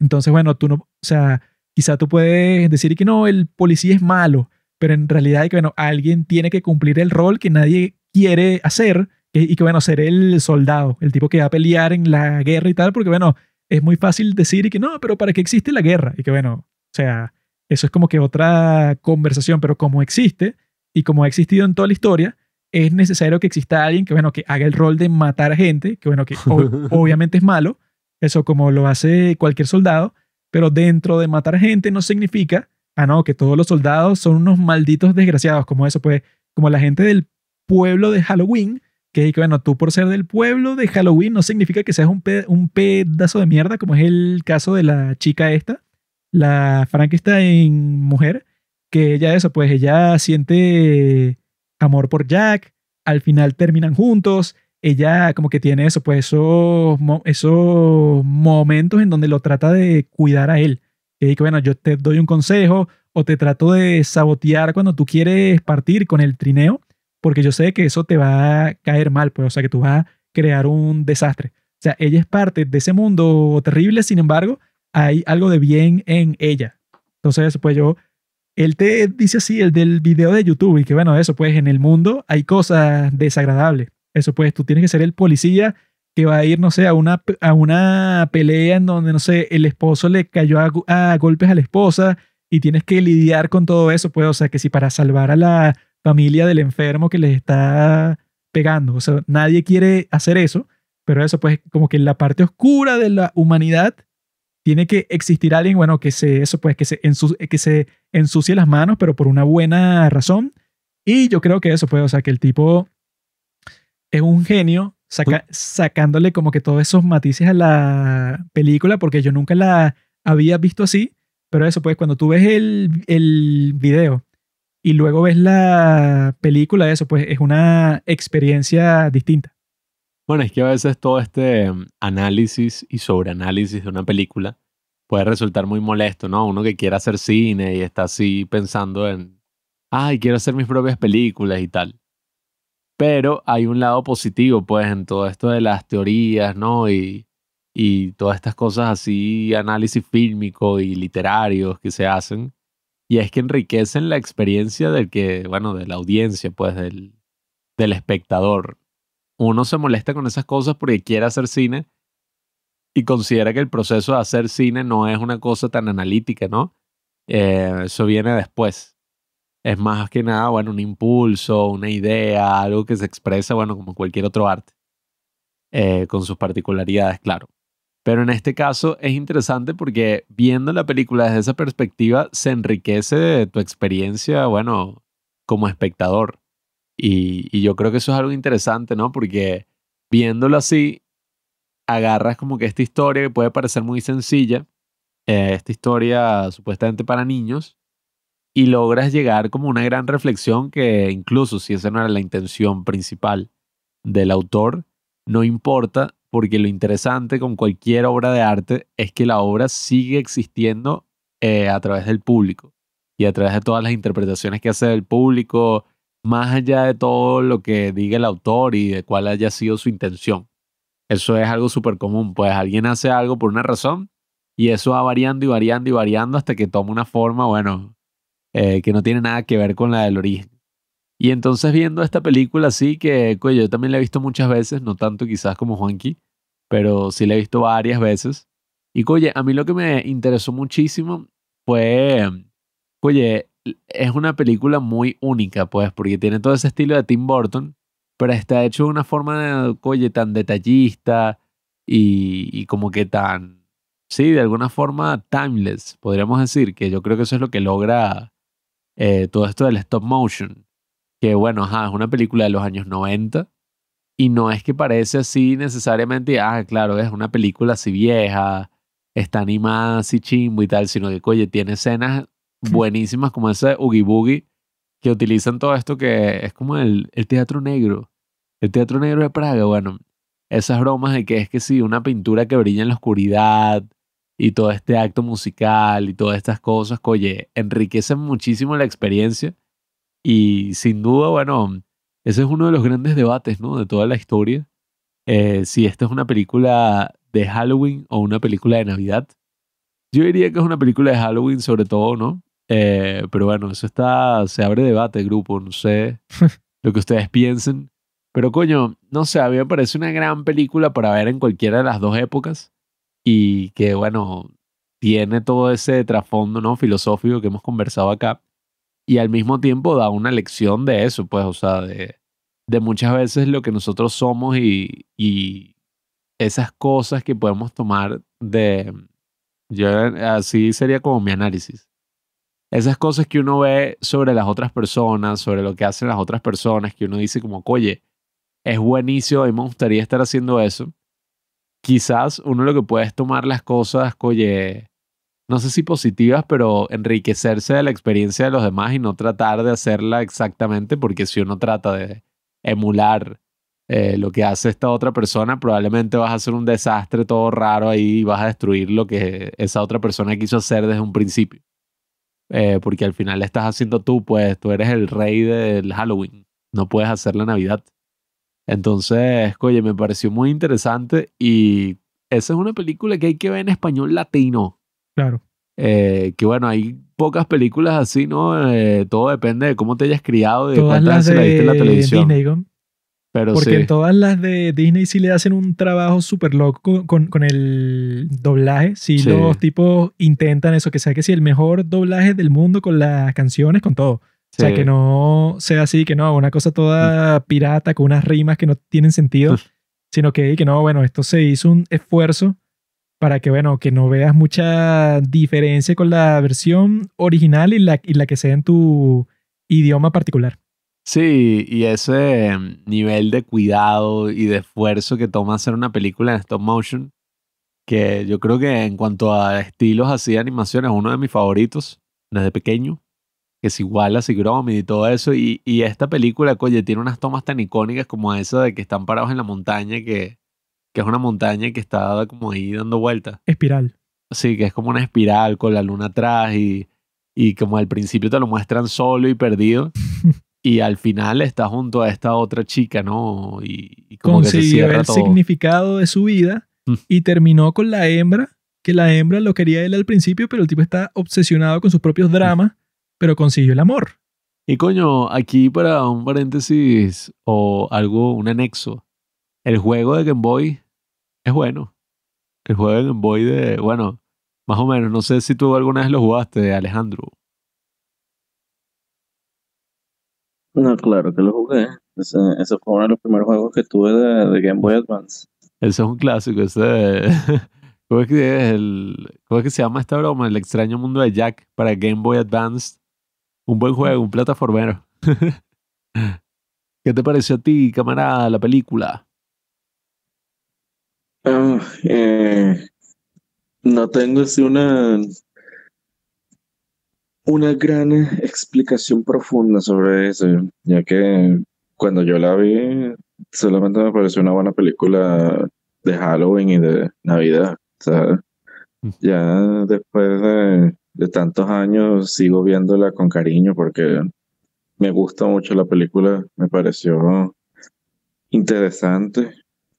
Puede decir varios mensajes, pero el que le saco yo es que llega un punto en el que cuando haces lo que lo que te gusta o, o lo que piensas que eres bueno, después de tanto tiempo llega un momento en el que quieres tratar algo diferente y cuando consigues algo diferente y tratas de, de ser bueno en ello, hay veces en el que vas a fallar y hay veces en el que no te va a salir bien.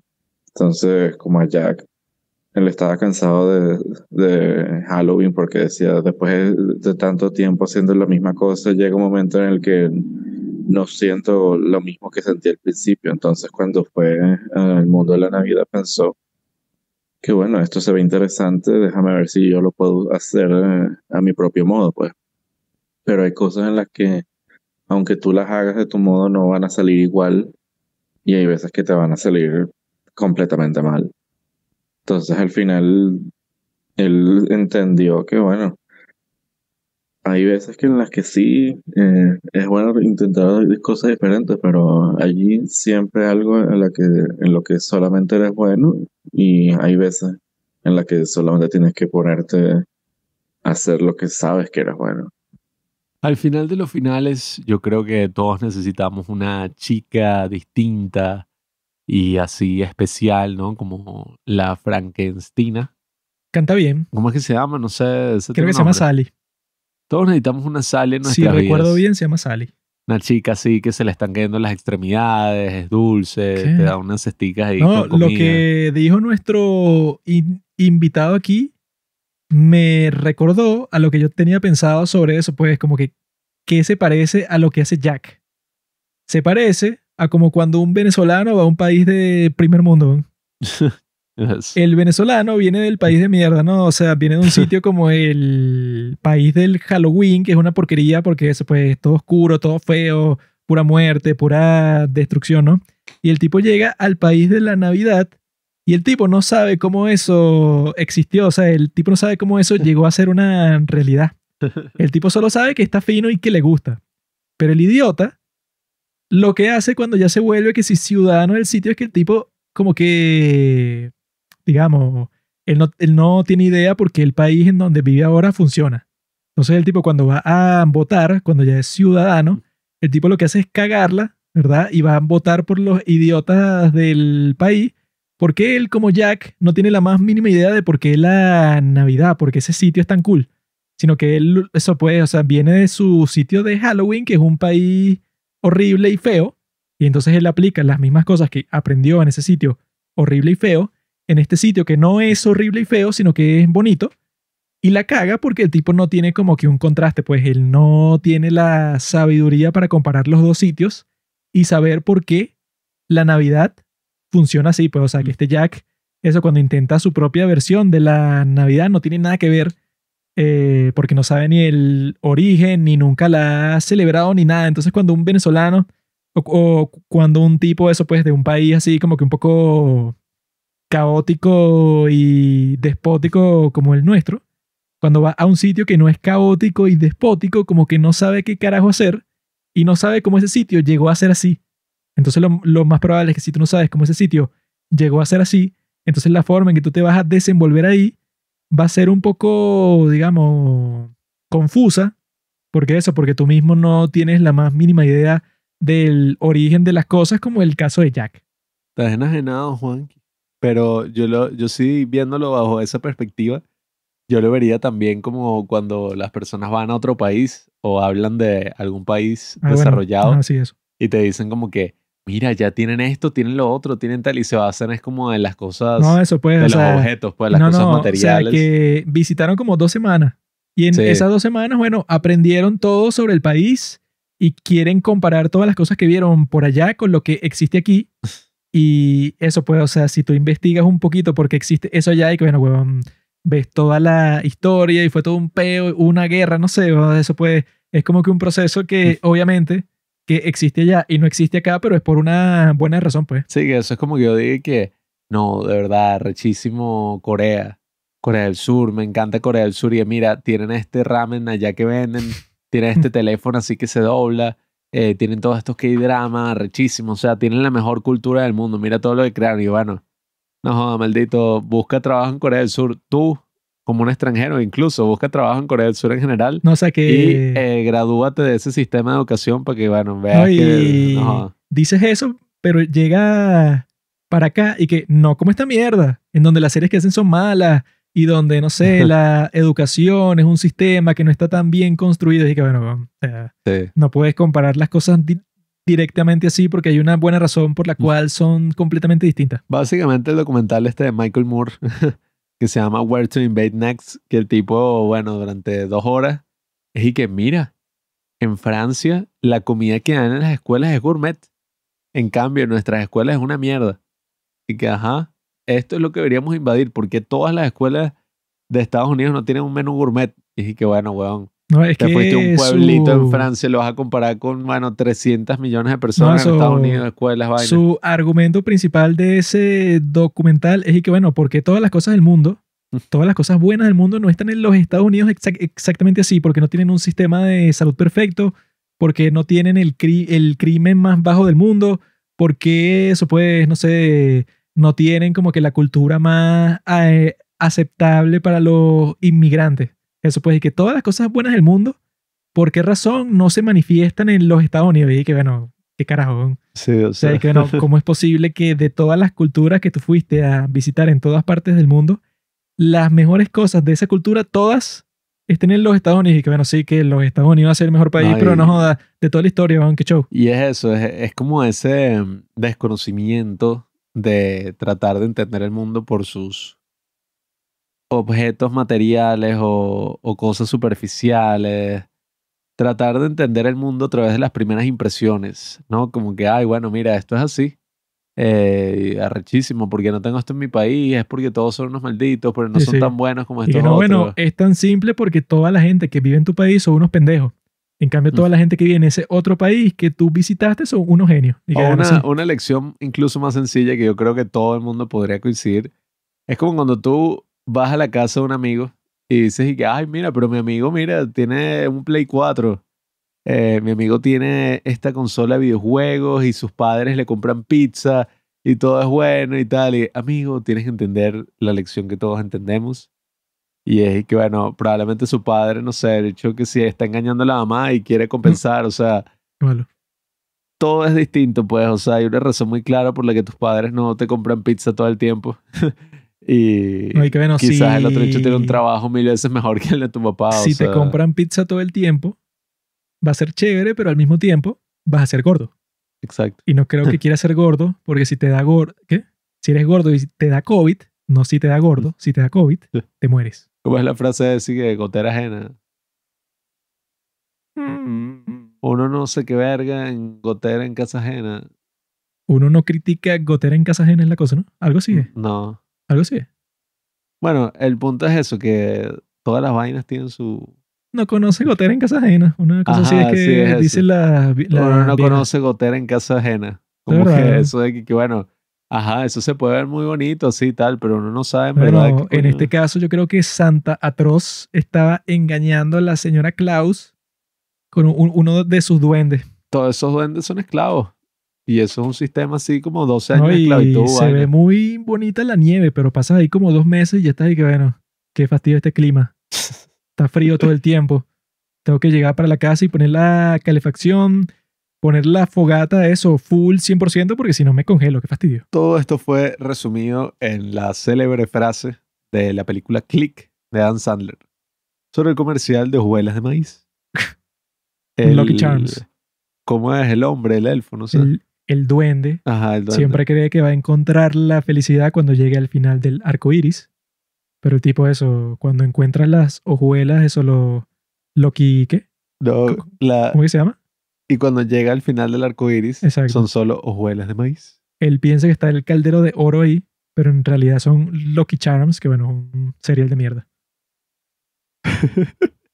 Entonces él piensa que no, bueno, Eh, claro. Así, así va a terminar tu tesis. Y que, citando la célebre frase de la película Click. Llegó al final 2000, del arco iris y bueno, en vez de un caldero de oro hay cereal, obviamente. Esa es una metáfora para la vida de todo el mundo, porque todo el mundo piensa que no, eso pues cuando consiga el próximo trabajo, o cuando me case con la mujer perfecta, o cuando mi equipo de fútbol gane la Champions, por fin voy a ser feliz. Pero cuando pasa eso, te das cuenta que no eres feliz. Entonces, como dice Sadhguru, cuando tú te das cuenta de eso, dices y que, bueno, y ahora, yoga. Yes. ¿Qué piensas tú de eso, compadre?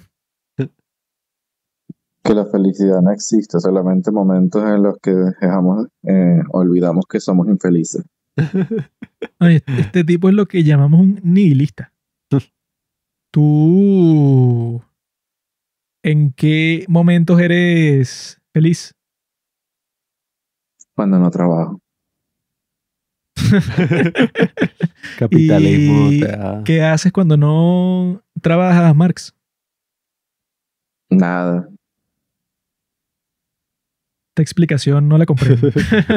De movie. o sea que tú eres feliz cuando no haces nada. Claro, es el momento más, feliz de mi vida, cuando no hago nada. Bueno, la tranquilidad, uno a veces ve unos animales así tranquilos y tal. A los cocodrilos, ¿no? Sí, que están así como acostados. Tú ves a los cocodrilos en el zoológico con la boca abierta como, como unos enfermos agarrando sol y no se mueven como por cuatro horas. ¿no? Uno que reconoce los momentos tumultuosos, ¿no? De la vida y lo duro que todo puede ser, debe aprender a apreciar esos momentos de tranquilidad. Bueno, tú, Alejandro, nos puedes contar algo así para que sea la conclusión del capítulo. Como yo mencioné así, de que, bueno, que lo que le pasó a Jack puede ser lo que le pase a un venezolano así cuando va a un país de primer mundo. Bueno, ese venezolano puede ser tú, porque tú hiciste eso. Así que cuéntanos, Descubriste la Navidad. cuéntanos eso, cómo es la experiencia de tú vivías en Halloween Town, que es la mierda de Venezuela, y te fuiste a un sitio, coño, que está chévere, que es como la ciudad Navidad. Así que bueno, ¿qué tal?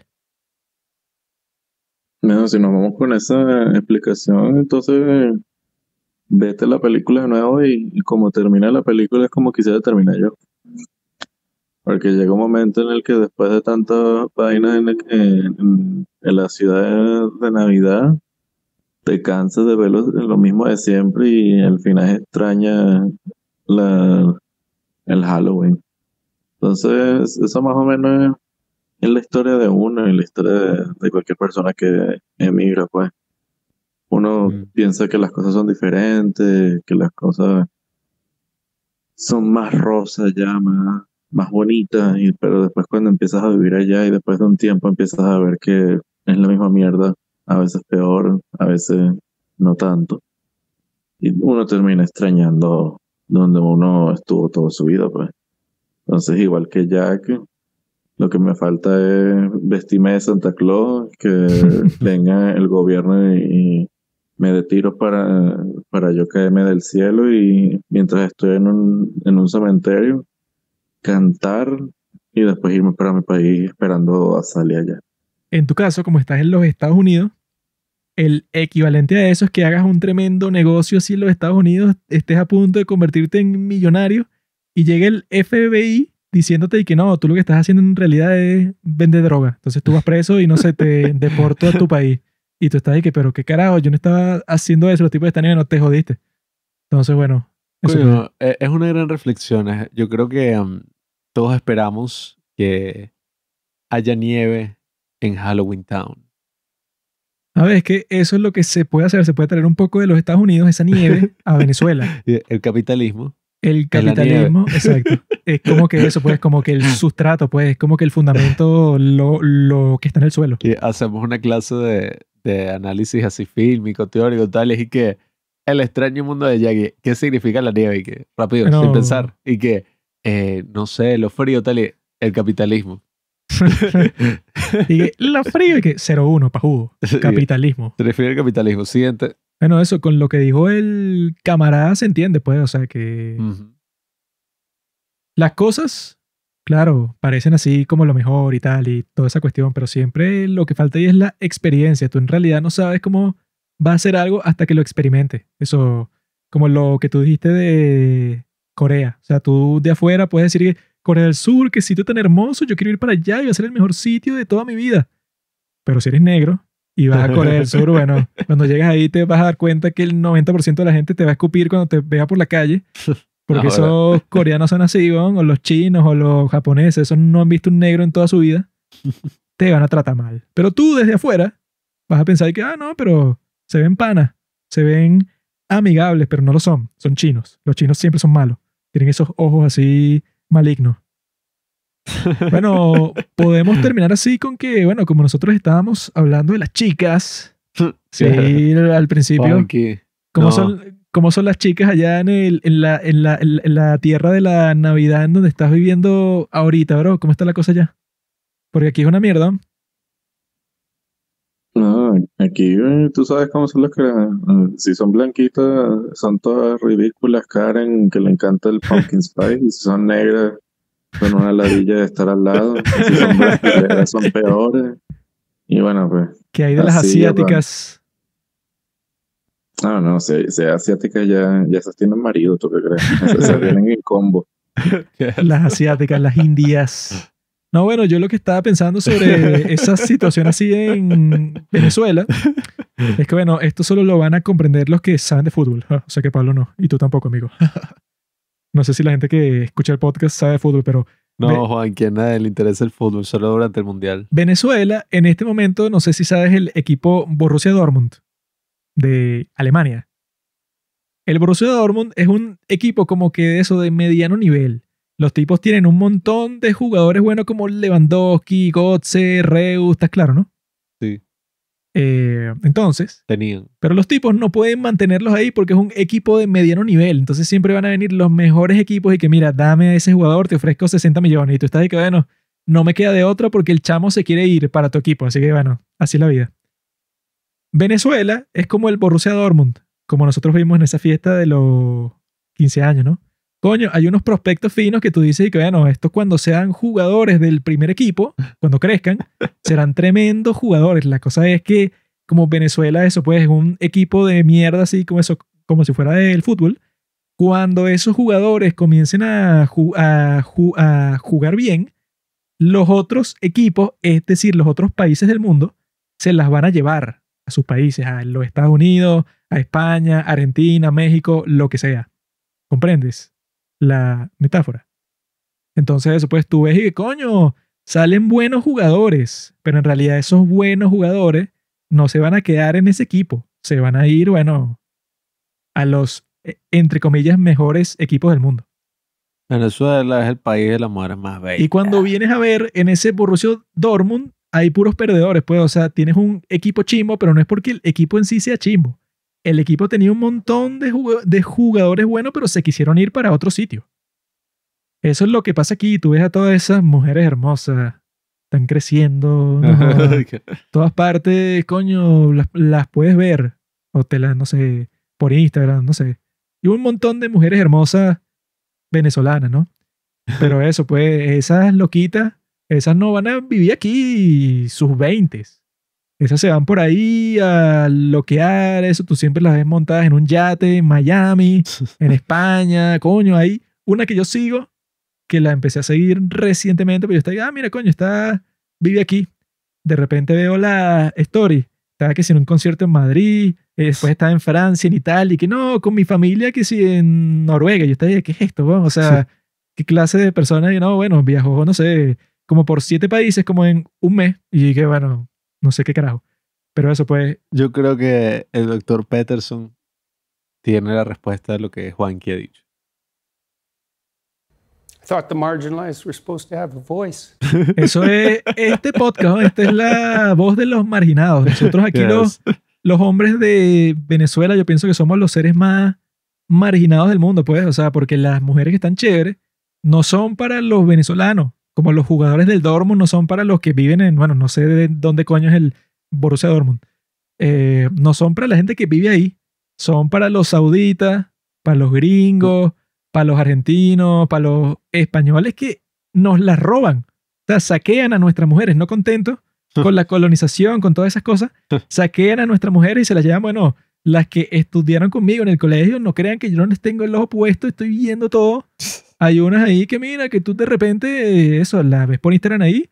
No, una foto en un yate en Dubái. Y es que, ay, o sea, ¿cómo pasó eso? ¿Cuándo vino el maldito árabe y te sacó de tu tierra? India. Tú eres una india No, y te tienes eh, que mantener en tu tierra. Eso no pasó por eso, Juanqui. Eso pasó porque ellas estudiaron, ¿verdad? Se graduaron, tuvieron un trabajo Mm. y con su gran esfuerzo y dinero pudieron viajar y conocer el mundo. Sí, huevón. Y O sea, conocieron, a, o sea, conocieron a un hombre guapo y se enamoraron. o sea, todas son lo que llaman sugar baby. Conocen a un viejo de 90 años con 100 millones de dólares y bueno, hacen todo tipo de cosas pervertidas y deshonrosas para que les den plata. Y bueno, eso pues. Nosotros no estamos juzgando a, a las zorras sugar baby. Eso es un Claro, eso. producto Estrategia. social, un producto social de un sitio miserable como este. Pero la realidad, al fin, es como dice Jordan Peterson, nosotros los hombres aquí estamos más marginados imposible porque las buenas jugadoras se van para el carajo. Y las que quedan aquí en el país son las jugadoras que nadie quiere, las que nadie quiere comprar. Eso, si tú si, si eres mujer y sigues viviendo en Venezuela, es porque eres como los, los jugadores de mierda del equipo que nadie quiso comprar, así sea barato y todo. Nadie los quiso comprar, pues, o sea, son como que los que pusieron para jugar porque no les qued- que daba más nadie que los equipos de fútbol suelen ser y que, bueno, llámate al chamo de 17 años que juega para nuestra división C, por ejemplo, tráetelo para el equipo titular porque no tenemos a más nadie porque vendimos a nuestros buenos jugadores. Los también meten goles, chamo. Entonces, eso. Venezuela se quedó sin buenas jugadoras. Las que quedan aquí, bueno, Deina Castellana. son las que estaban en la banca o las que estaban eso, detrás de las que estaban en la banca. Ay, Juanqui, pobre hombre. Algún día conseguirá su camino como el querido Jack. Cuando tenga a su novia al lado se va a dar cuenta y que coño, no es para nada lo que yo me imaginaba. ¿Ves? Es que tú no eres un tonto, ser- ¿eh? No puedo ser como Jack. Tú no comprendes la metáfora completa porque en el Borussia Dortmund quedan tipos como Reus o Roy, no sé cómo sea. El tipo es el único huevón que es bueno y no se ha ido del equipo porque se lesiona todo el tiempo y nadie lo quiere comprar, ¿no? Entonces, debe existir, eso pues, no sé, dos o tres mujeres en el país que coño No, se han ido, eh, pero no es por su falta de calidad humana, sino por razones del destino, pues no sé, por mala suerte. Entonces, si tú te cuadras a alguna de esas chamas, ah, bueno, bien por ti, pero no quiere decir que las demás del equipo que no son Reus, bueno, se sigue manteniendo la regla. Como dice Ben Shapiro, la excepción a la regla no quiere decir que la regla no exista. ¿Qué piensas tú de eso, querido invitado? Yo creo que tú puedes darle la conclusión a este tema y bueno, terminar con todo. Joaquín de la mujer.